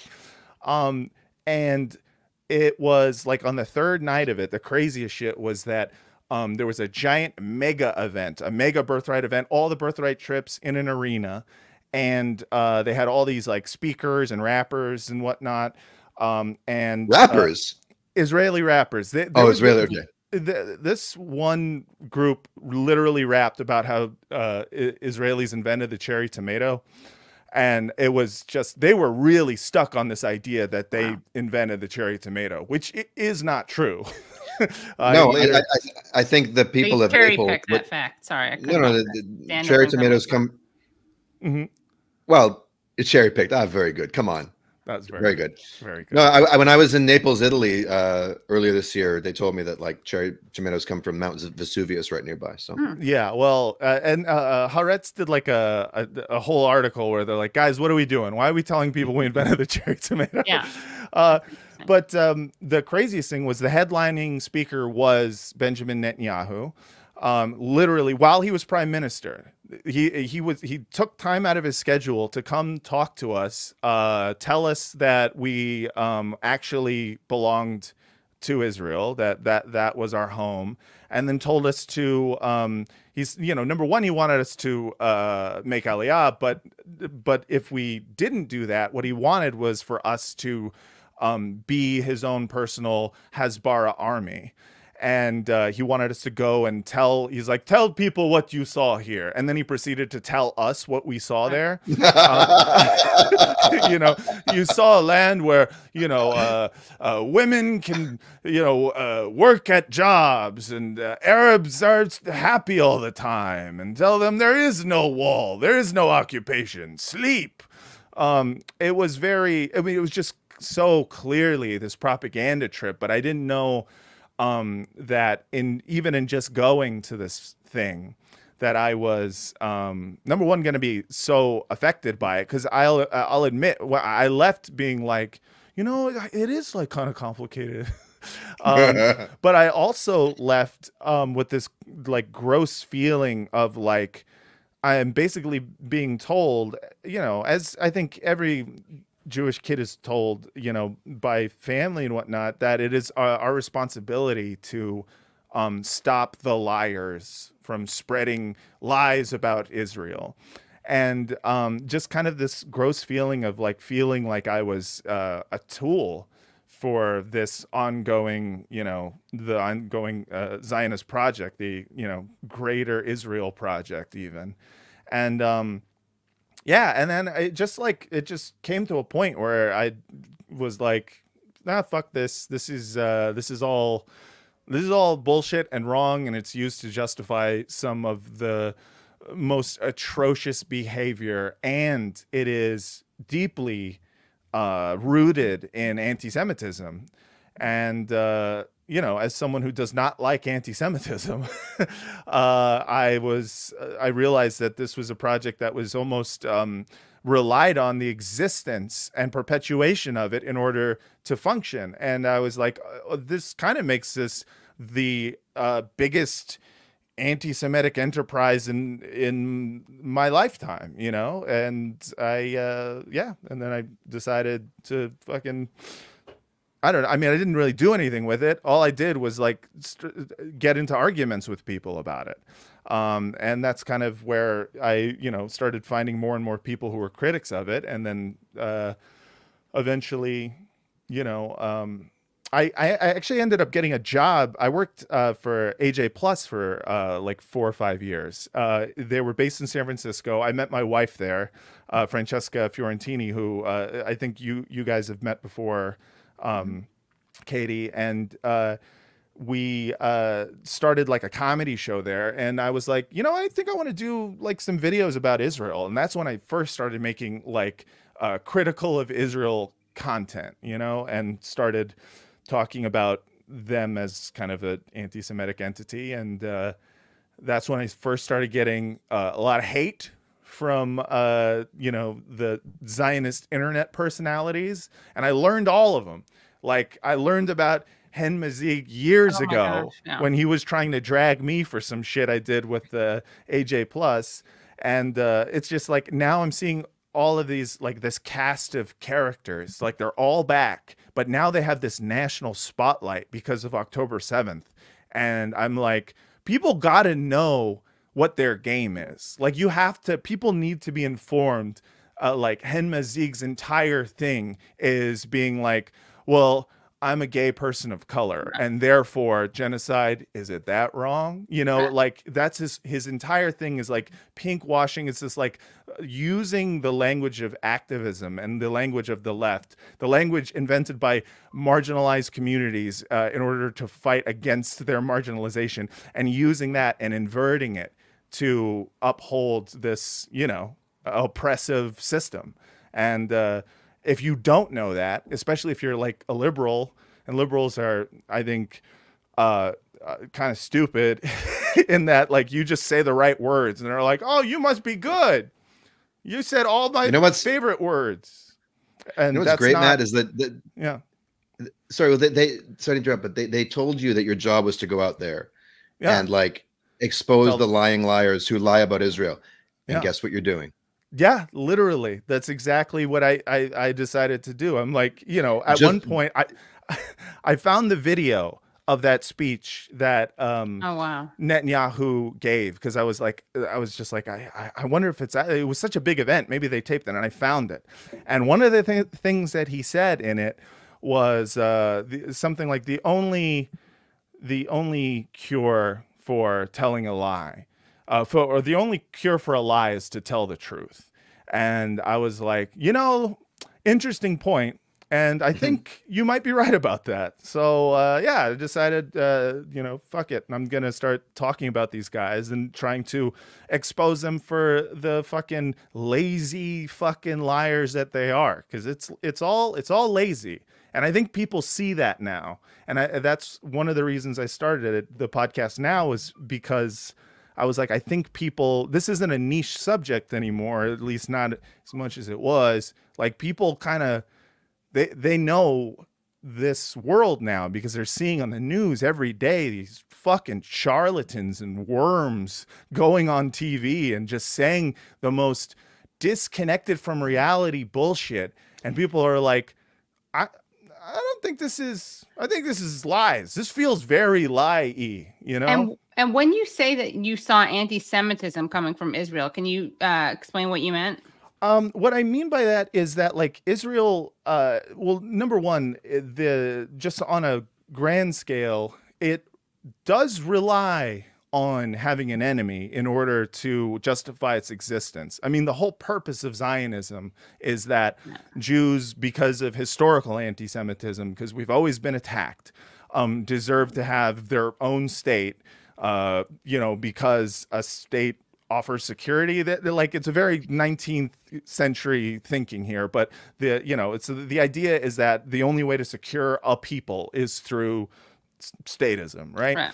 and so uh so on a like a grand scale it's like the existence of israel relies on the existence of an enemy um And, and anti-Semitism.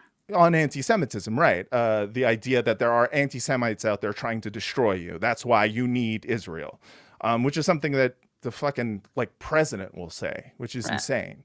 Um, but also like on a on a smaller scale, you see the amount of um, loathing that a lot of Zionists have for uh, diaspora Jews, for Jews who are uh, like American Jews, uh, you know, anyone um, from a country uh, in the West, quote unquote, uh, that is, I mean, you know, that has people, especially who speak out, but even who don't, they don't like non-Sabras, you know.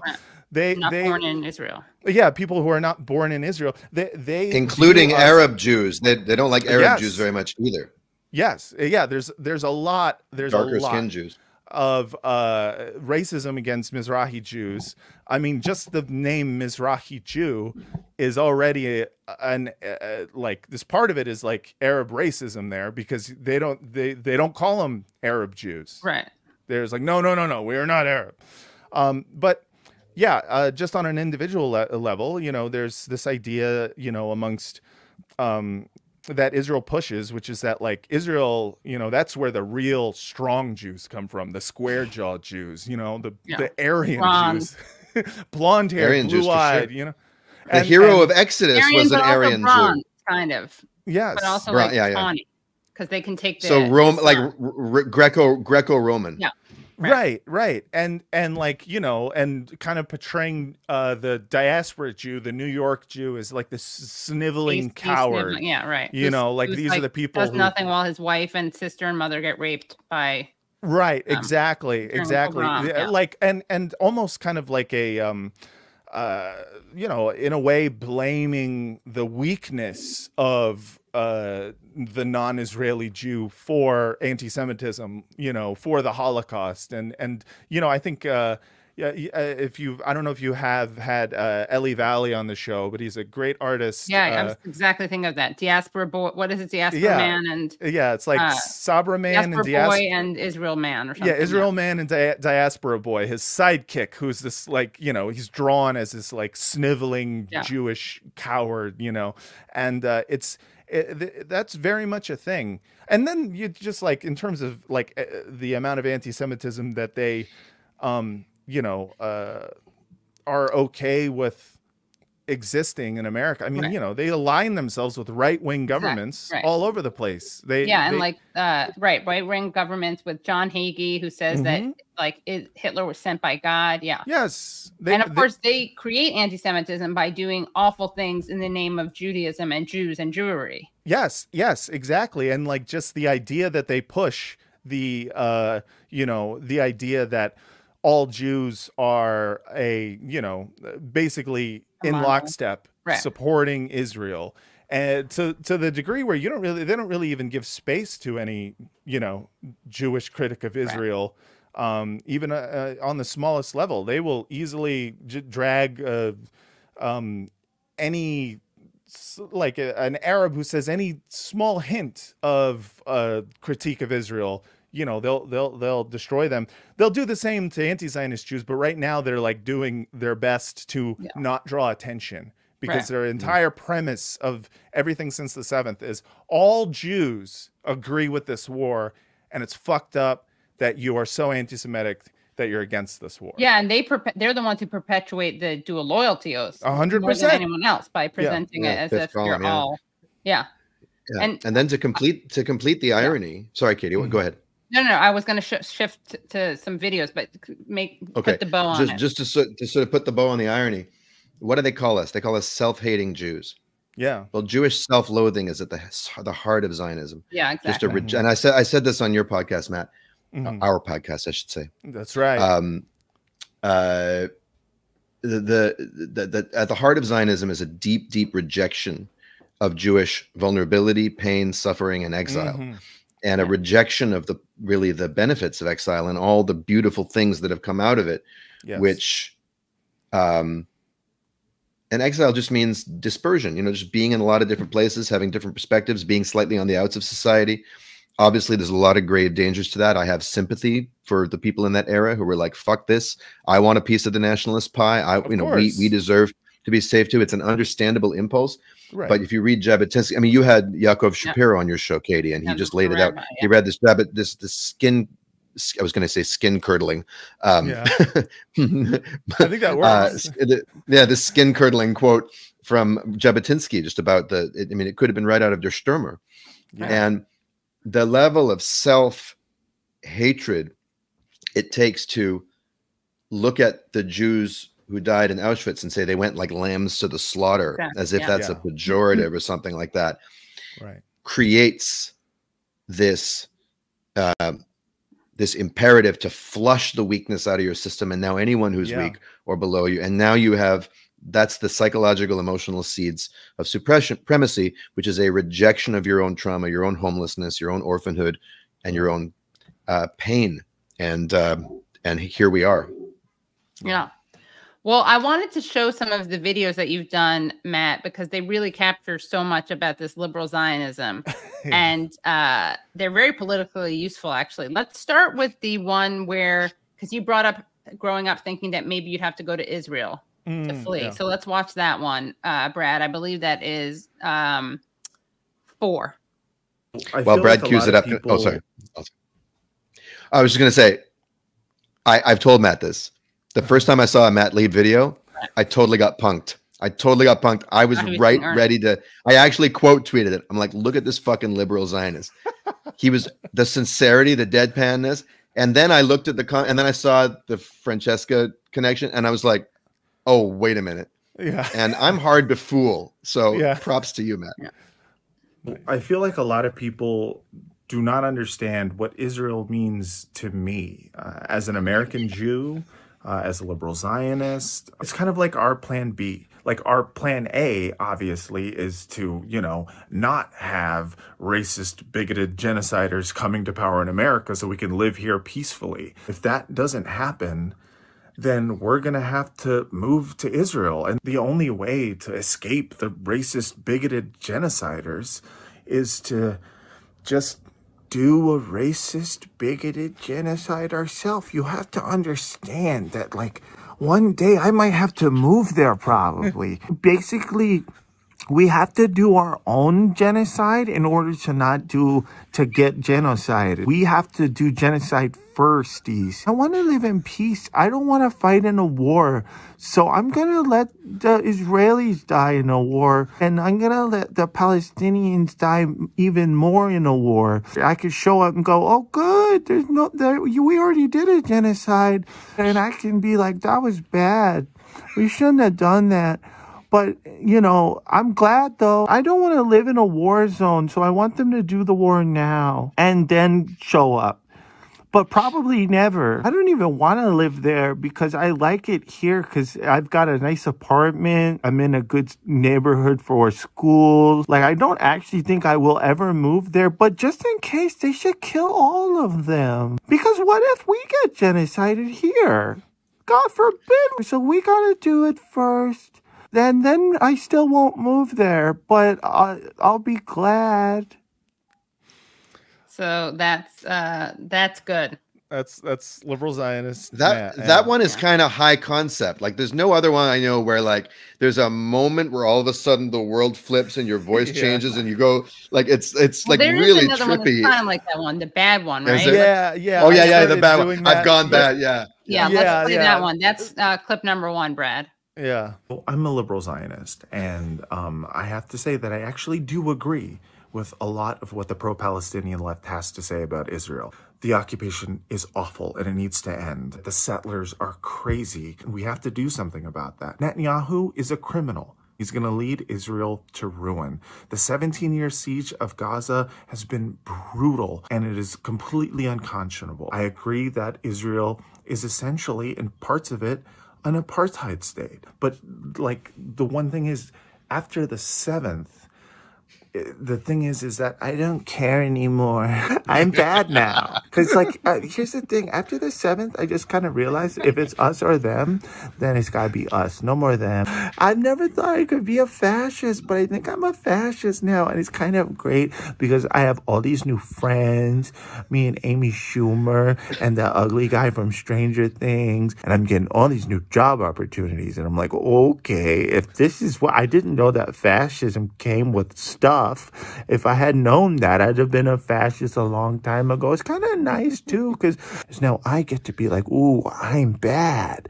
So I'm just gonna be bad now. Like I can still believe all that other stuff too, but just not now. I'm gonna wait till later.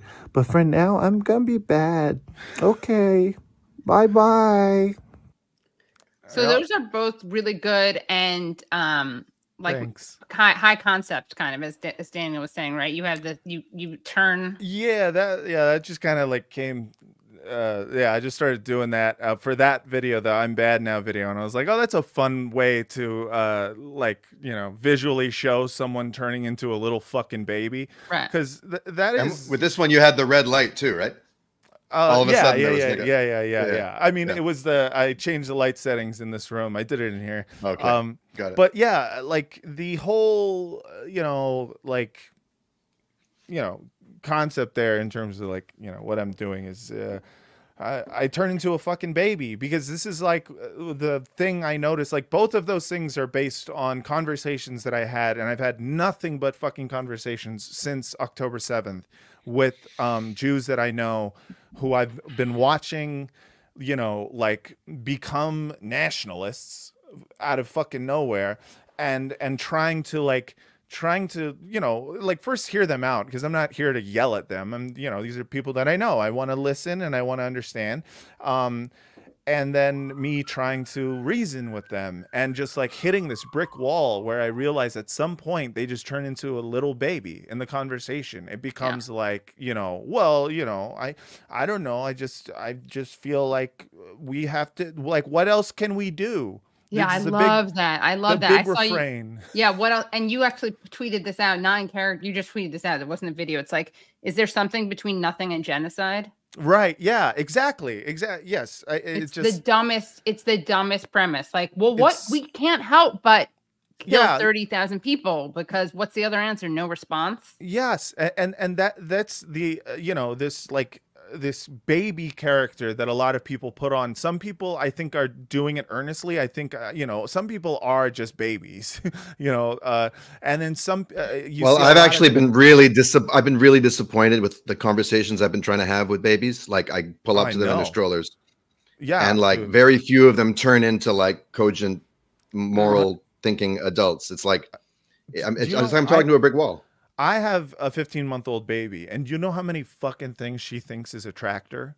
Everything. Right. And that's what it's like talking to liberal Zionists. They think everything's a terrorist. They think everything's a terrorist. They think everything's anti-Semitism, and and a lot of people are doing this in this totally. I mean, they're they're full of shit. That when Yeah. when someone online says, especially someone who all they talk about uh, is how they are a Zionist and how Israel must win and all this. You know, these like online fucking paid Hasbara. Some of them aren't paid. Some of them are doing it for clout. Which Right. you know, congratulations Or ideology. or ideology but you know i i think it's uh it's a mix of of of all these things um but you see them you know do this totally you know like this bullshit you tell me what should Israel do? Okay, military experts. And it's just like, no one is claiming to be a military expert. We're just looking at what's happening and saying this bad. And the fact that people want to immediately turn it, turn everyone that they're talking to into uh, the guy who, like, you can't enter this conversation without having the exact right answer for how to solve the Middle East. And it's like, That's their big one. That's their big one. What happens after a ceasefire? And I say to them, if you've got your knee on the sternum of a person for three years, never mind 75 years, Mhm. you do not get to say, well, what would happen if I got off him and obeyed the law? He might have a knife in his pocket. He might hate me. right, It's like what would happen you if we just ended don't- that's- slavery? right, That's exactly right. You don't think you. whites, you don't think that you don't think that exact argument right. was used and they had and they had evidence for it there was the nat turner slave revolt Right. whatever Yes. now if you're rational you understand that the nat turner slave revolt and john brown and all that is a Mhm. response to the thing Yeah. you know it's a Right. you know so you end the thing and then you deal with it and you don't get to use your insecurity that is built up over these years by choosing to be an occupier which is inherently an Mhm. insecure and hopeless position and a traumatizing position for you actually right. you have to be estranged from your humanity you have Yes. to you know and you have, you're always trying to keep on something that you know is not yours Mhm. so you either double down on that like your character is doing or Mhm. you give up the ghost and you say you know what we got to face the future of not knowing what's going to happen but Yeah. at least grounding it on on principles that that have some sanity to them Yeah. Well, I want to show one where you kind of don't, because those are ones where you're kind of breaking character, but you have a lot of other ones where you don't break character. yeah. these um, are the ones I get in the most trouble for. Yeah. So let's take a look at um uh well no, this is a different kind. I like this. This is like the one it's one person playing two uh characters. Let's look Oh, at your yeah. morning video, number seven, Brad. Okay. This is a I different kind I think kind. Israel's going to use this tragedy as a pretext to do like another Nakba. I think we as Jews need to speak out about this, man. Can you stop talking politics for just a moment and let me grieve? Where is your humanity? Okay, okay. Sorry, sorry. You're right. You're right.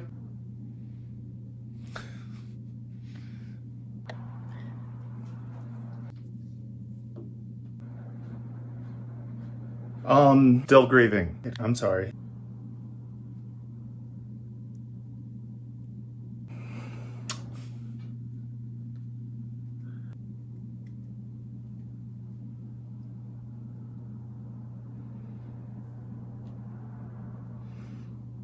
Okay, I'm ready. Yeah, Gaza's not there anymore. It's been wiped off the map. How? That's a great one. And then let's go to um oh this is the very uh this is a hits home this one hits home. Let's go to uh clip number five. Okay, so now South Africa is going to try to tell Israel that they're doing crimes against humanity. Really, South Africa? Really? Uh, didn't you guys invent apartheid? I'm just saying, given South Africa's history of human rights abuses, uh, maybe they should sit this one out. Am I right? On a completely unrelated note, I would like to personally thank the Reichschancellor of Germany for speaking out against uh, The Hague. and against any kind of war crimes prosecutions. Um, Germany has always been and will continue to be the best friends of uh, the Jewish people around the world. Except for like a couple of other things. Don't worry about that other stuff. Um, all right. Let's see. Um, one more. Let's do Okay. one more. Okay. Uh, let's see. This is uh, the frustration of being asked about Gaza when you're just a comedian. Oh, thank Oh, and then we have to do the Black allyship one. Okay, so two more. Yeah. Okay. can no longer be silent. I know that I'm just a comedian and I usually use my platform for, you know, my little jokes, but some things are more important. And right now, I think it needs to be said that America is waging an illegal war on the Iraqi people. Hey, aren't you just a comedian? Yeah, I'm a comedian and a human being, and gay rights are human rights. Taking a wee little break from being a little clown today to tell you that kids do not belong in cages, Trump. Didn't you used to be funny? Yeah, well, some things are more important than being funny, like trans rights. Just go to my bio and you will see a link to donate to Black Lives Matter. You'll also see a ticket link for my weekend at uh, Yuckity Yucks over in Tucson. It doesn't matter if you're a comedian or if you're a musician, like if you have a platform, how could you not tell people about what's going on in the Ukraine? Uh, I don't think you want to know my opinion about what's happening in Israel Palestine. I'm just a big dumbass. I'm fucking stupid. Like when people ask me, I'm like, "Uh, you really want my opinion, Mister Fucking Idiot?" I'm the dumbest man in the world, and like. I don't know about politics. Like I'm just guy who I slip on banana peel and go wee. You know, you don't want to listen people asking me, it's like, oh, okay, well, why don't you ask, uh, uh, why don't you ask Bozo the Clown? Because that's basically what you're doing when you're asking me. Because I'm fucking, I'm so dumb. I'm the biggest stupid. I can't think good. Uh, I don't want, I don't want to. I'm, I, like, listen, dude. That one was literally based on something I saw from uh, another comedian that drove me up the fucking wall. Um, and yeah, I, I I've not seen that comedian in a while in person, so uh, I I wonder if if uh, if he ever saw it. But it uh, yeah, Was straight this up. a video the comedian did? Yeah, like it's a, video post he like put out, uh, and and it was just like big. Uh, I'm I'm the stupidest motherfucker energy, and I'm like, I've seen you talk about other things, Yeah. bro. Like, yeah, th- just you know, if you don't want to say anything because you're scared or whatever. Um, that's I, like it's understandable. Like I don't blame anyone in the industry for being afraid for their job or whatever, you know, afraid for their prospects and not wanting to rock the boat. But don't feign dumbassery. Don't you know? It, it just you know hide. Be be be a coward, but that's okay. Like I'm not gonna blame you for being a coward. I'm scared of shit too. You know, just not this for some a stupid fucking reason. it's a classic thing where people are really um, free to be virtuous and noble and brave when it takes no bravery at all. Right. When, When you're speaking uh, out on no things that skin in the basically fit yeah. The liberal consensus that the corporate world can get with that Yeah. you know there's just no there's just no cost at all in terms of your proximity to power and privilege. The minute you step out of that and you know katie your co-host on the other show who i kind of know has faced this over and over again and so have you by association like you know when it comes to ukraine if you have a different perspective or you try to you know fill in the blanks it there there are consequences and that's because the US security state has decided which way it's going to go and that's just the only way it's going to go. So this is a case i mean israel is the most extreme case of Yeah. thou shalt not tr- trespass beyond this this place and people know it. Yeah, and and, and I Yeah, think also got there's a, a, a to be honest, there's a bit of um, you know, uh, uh, there's a little bit of anti-Semitism there too, where people kind of are like, I don't want to say anything because uh, I'm scared of the Jews that run Hollywood, and I'm just like, listen, I know I'm it, literally in Hollywood. I'm in the entertainment industry. I'm not saying you won't face consequences. There are a bunch of fucking liberal or there's a bunch of Zionist bullies out there who will happily try to get you blacklisted. I'm not saying that that's not there, but I'm also saying like what happened to the solidarity of ear- earlier in the year? What happened to us against the bosses during the writer's strike or during the SAG strike? Like you understand the concept of people power. And if you understand that, you understand that there's more of us than there are of them. And and them is literally a handful of fucking Zionist assholes who run some like you know uh, top positions at some agencies, you know, uh, some production companies, but it's not a cabal. And you ca- and at the end of the day, their uh, allegiance isn't to Israel uh, in general in in Hollywood, then more so than it is to like sucking up as much fucking IP as they can so they can make another fucking Batman movie. Like that's the shit they care about. And so I don't know. A little bit of I- me is just IP like solidarity, guys. How about it? IP standing IP standing for Israeli propaganda. Israeli propaganda. yeah, they want to make Batman, but in Tel Aviv. Speaking of solidarity, let's take a look at this one about um, the sad breakdown in Black Jewish relations, Oh yeah. um, which is Oh, addressed in this one this eight. one gets me so indignant. Hey, I have a message for black Americans posting a Palestinian flag on social media. What the hell, man? You know, Jews have been nothing but good to you, and this is how you repay us by calling for a ceasefire in a seemingly unrelated country 6,000 miles away. Where is the loyalty? During the civil rights movement, my grandfather, as his best friend, marched for your civil rights. I posted a black square. I didn't have to. I have posted some eggs Benedict. I had that very day, but I didn't because I'm a good friend. I read White Fragility. I read it and I said, yeah, white people, not me, do be like that. They do.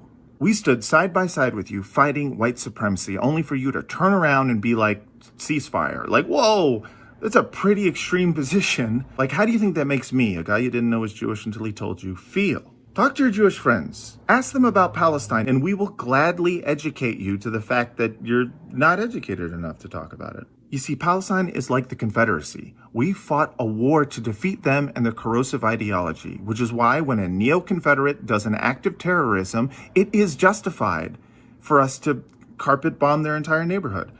It's something we do. Don't take it from me. Take it from Dr. Martin Luther King Jr., who once said, and I quote, Israel is good and my favorite, and they can do whatever they want. And I feel like you're betraying that memory. I know you're speaking up because silence is violence, but you know what else silence is? Golden. Silence is golden. That golden rule.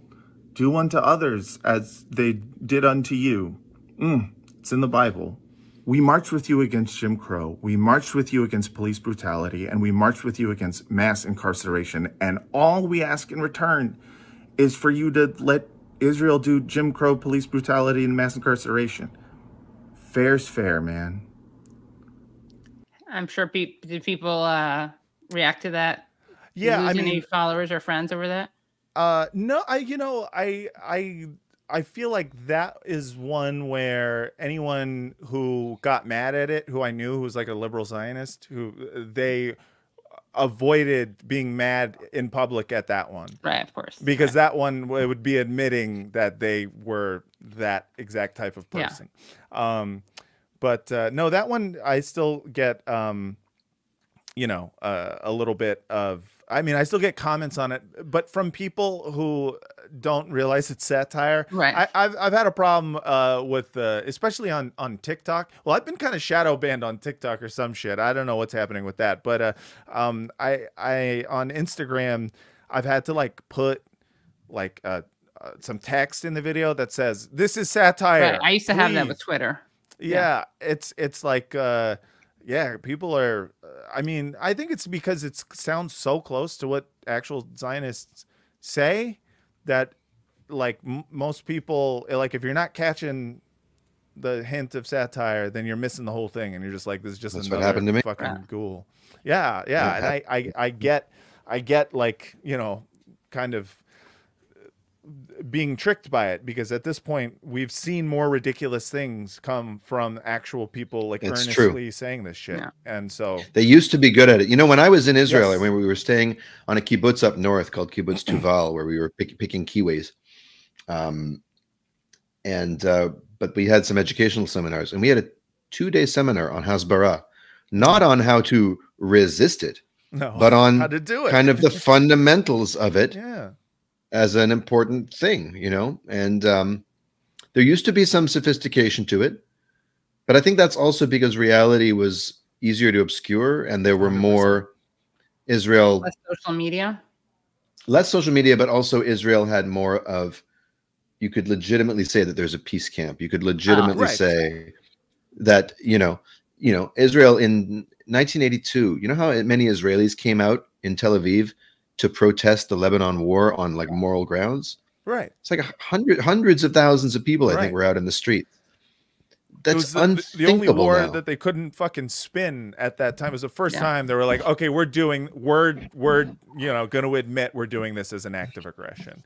And That's it- right. And Sabra and Shatila was known about. And Yeah, and uh, and I think yeah, there was a time where uh, you know it wasn't just like people weren't seeing it on social media, but it was a time where you could put your faith in the idea of like government you know this government is going to figure it out with that government and you know the idea that the united states was going to uh, help bring peace like you know peace in the middle east was like a 90s thing people said um and uh you know now it's just so clearly a ruse Right. that like you're not even you know they're not even lying about trying no one's even saying they're trying to get peace at Yeah, this that's point israel is saying out loud what they've been doing this whole time which is like no we're gonna fucking we're gonna uh, do ethnic cleansing just call it Amalek. something else Yeah. you know Yeah. Tho- th- what, what I always whatever, noticed yeah. about Israelis, what I always noticed about Israelis was that actually in They're their more honest. in some ways In their, in, in in person bloodlust. yeah well when i was there i noticed that that in their popular culture there was a lot of talk about shalom there were like sentimental songs about wanting That means peace and hello, kind of goodbye, wish- and peace. By the way, that's for right people don't know. Yeah. uh, there, but there's a song called Shir LaShalom, Song for Peace, that we used to sing, and it's this kind of utopian. We can get there someday. It's going to get there. But when you actually talk to Israelis, they didn't talk about the prospect of shalom. They talked about the prospect of sheket, and that That's word right. means quiet. quiet They want quiet. So peace and quiet is what they want, which means tranquility, which means just make them go away somehow. Like we don't know why they keep bothering us. All we want is quiet. And again, it's a very kind of um yeah, it's it's the it's the privilege of the of the occupier to say, that's right why are you Talk why are you bothering us with this Yeah. with these calls for freedom and justice? Yeah. Well, Matt, I know you have to put down a little future terrorist baby, so that's we'll let you go. And I'll um I'm gonna s- uh, stay on just for a little bit to read the super chats. oh hell yeah. Um, Daniel, you can if you want to stay and riff off the super chats with me, or if you need to go too to play guitar or something. I'll stick around for a bit. Yeah, stick around. I just encourage everyone out there to uh, listen to Bad Hasbara. It's fun. It's a comedy podcast about Israeli uh, Israeli propaganda. Uh, it's a, it's uh, you know it's a, a little bit of a it's you know it's news about Israel, so it's gonna be sad sometimes and stuff, and obviously it's horrifying what the propaganda is trying to spin, but it's also uh shit that is in much need of ridicule, and that's what we try to do. Yeah. And In fact, whenever we You know what? One of the didn't get to that. So you have you guys have to come back again. We can actually go through some Hasbara. Oh, our, yeah. our Well, favorite I'm down Hasbara, yeah. too I'm much let, let, let me just say, but before you go, Matt, let me just say one of my my favorite things about the response to our song that Katie and I and, and our friends did um, is that we actually have people commenting, I don't know whether to laugh or cry.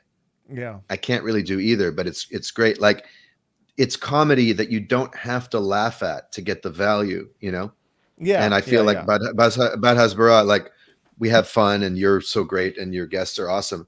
But like, I don't know, Joni Mitchell said laughing and crying, you know, they're the same release. And it's like yeah. fucking like in this in in this moment, catharsis comes in a lot of different forms and, and whatever we can do to just kind of crystallize the truth and show it. And sometimes comedy and satire is the best way because truth is stranger than absurdism. Yeah. Yeah. Hundred percent. Um, Oh, yeah. they're asking for a link to the song. Brad, can we add that link, um, a description to that? I think it's in the the description actually, but I'll put it right now. Well, thank you guys for for uh thank you for having me, Katie. And Yeah, thanks for great- joining. Great really to fun. see you, and great to See you on see your Wire again. show.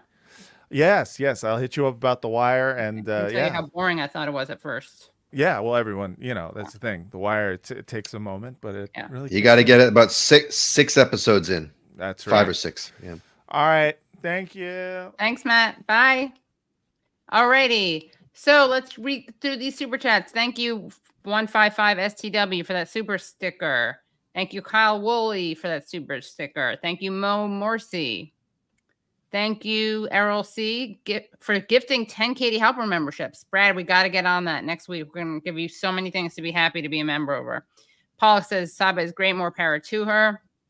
Wade Worth, always so generous. Thank you for that. Gare Rendon gifted 10 Katie Halper memberships. Thank you. Wow. Uh, Cyril Cato, Pas Paklabar also gifted 10 Katie Halper show memberships. Wow. Adam B writes, All my respects to Katie. Thank you so much. We got a new member, Robert Vavasor. We got a new member, Gare Rendon. No, actually, a new member donor donated 10 memberships. Ten more. Wow. How does that work? Does that is, is, is that like is that like a a scholarship fund for people who can't afford yeah, to get it? I don't know, but someone was like, "I just got one from you, thanks." So I don't know how that happens, but I like it. I love it. Jennifer Gottlieb uh, El Azari became a member. Thank you. How to combat uh, ZX82 writes how to combat anti-Semitism. Don't have Noa Tishby as your spokesperson. Yes, not not actually that far off a, a suggestion. I mean, it's just one part of it.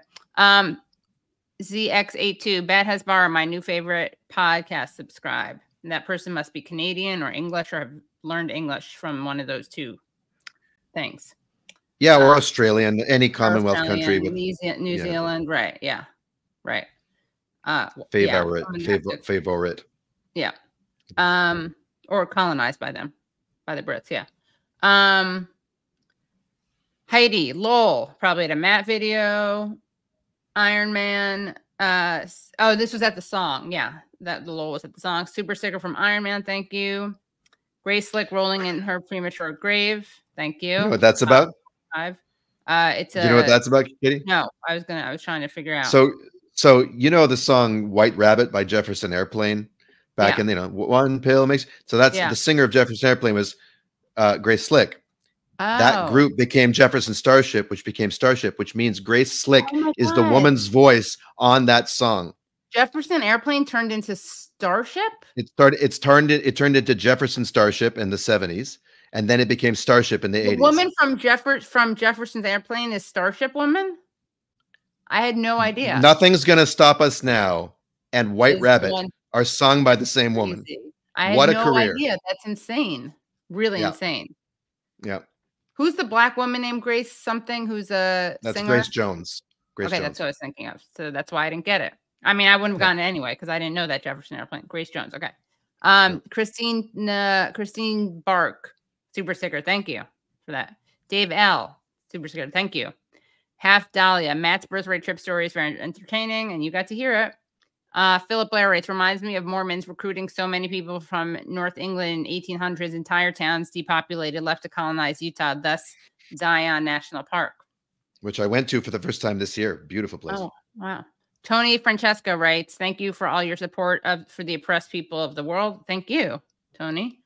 Um, Jeff Aholix, guys, the nothing's gonna stop us now video was the hardest I've laughed anything in a while in these dark times. Thank you, thank you, Jeff. Thanks. Choosy heretics choose Carnation Revolution now. Thank you.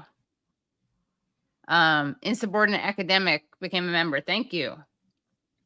Philip Blair writes one democratic state in all historical Palestine, equal rights for all, truth and reconciliation for all Israelis and Palestinians post apartheid. Amen to that. Truth first, reconciliation second.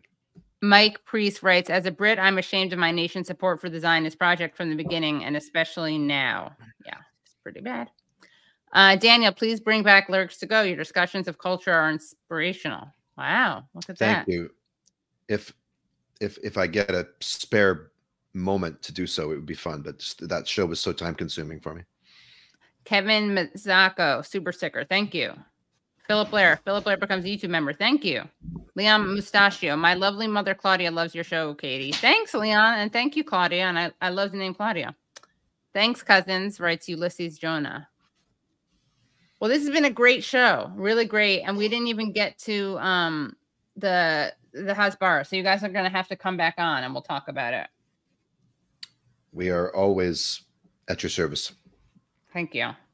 And where can people find you, uh, Daniel? Um, at an undisclosed location in Brooklyn, New York. Uh, oh my god! But if you want to find, was telling us his address literally when I asked him that, and we were like, "Stop! don't do that, please." Yeah. you know, I don't really care at this point. If they're gonna find me, they're gonna find me. But Pretty my good. Oh, innards best were video- writhing. the best response to our video um to the nothing's gonna stop us video was when um someone wrote in the comments great work katie and norman thinking that like i had written that with norman finkelstein which would have been amazing. Yeah. Yeah, yeah, yeah. Um, anyway, people can find me on Instagram and Twitter at Daniel B. Mate, without the accent, obviously M A T E.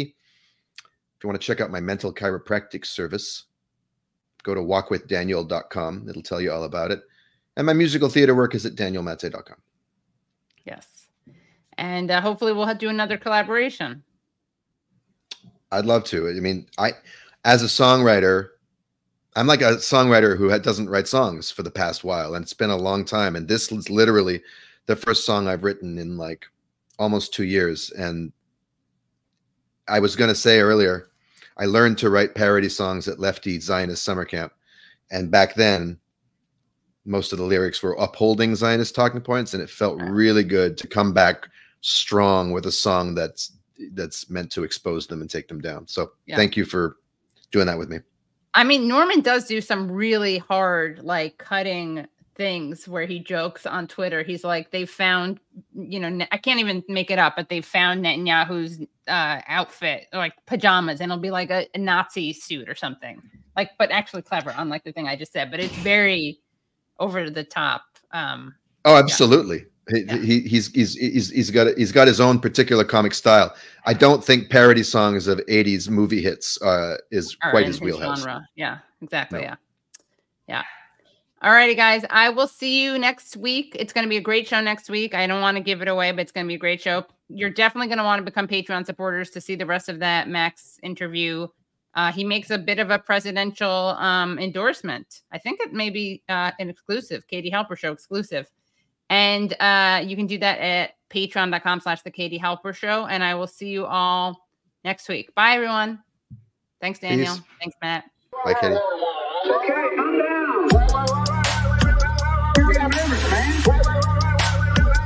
Got limits, man.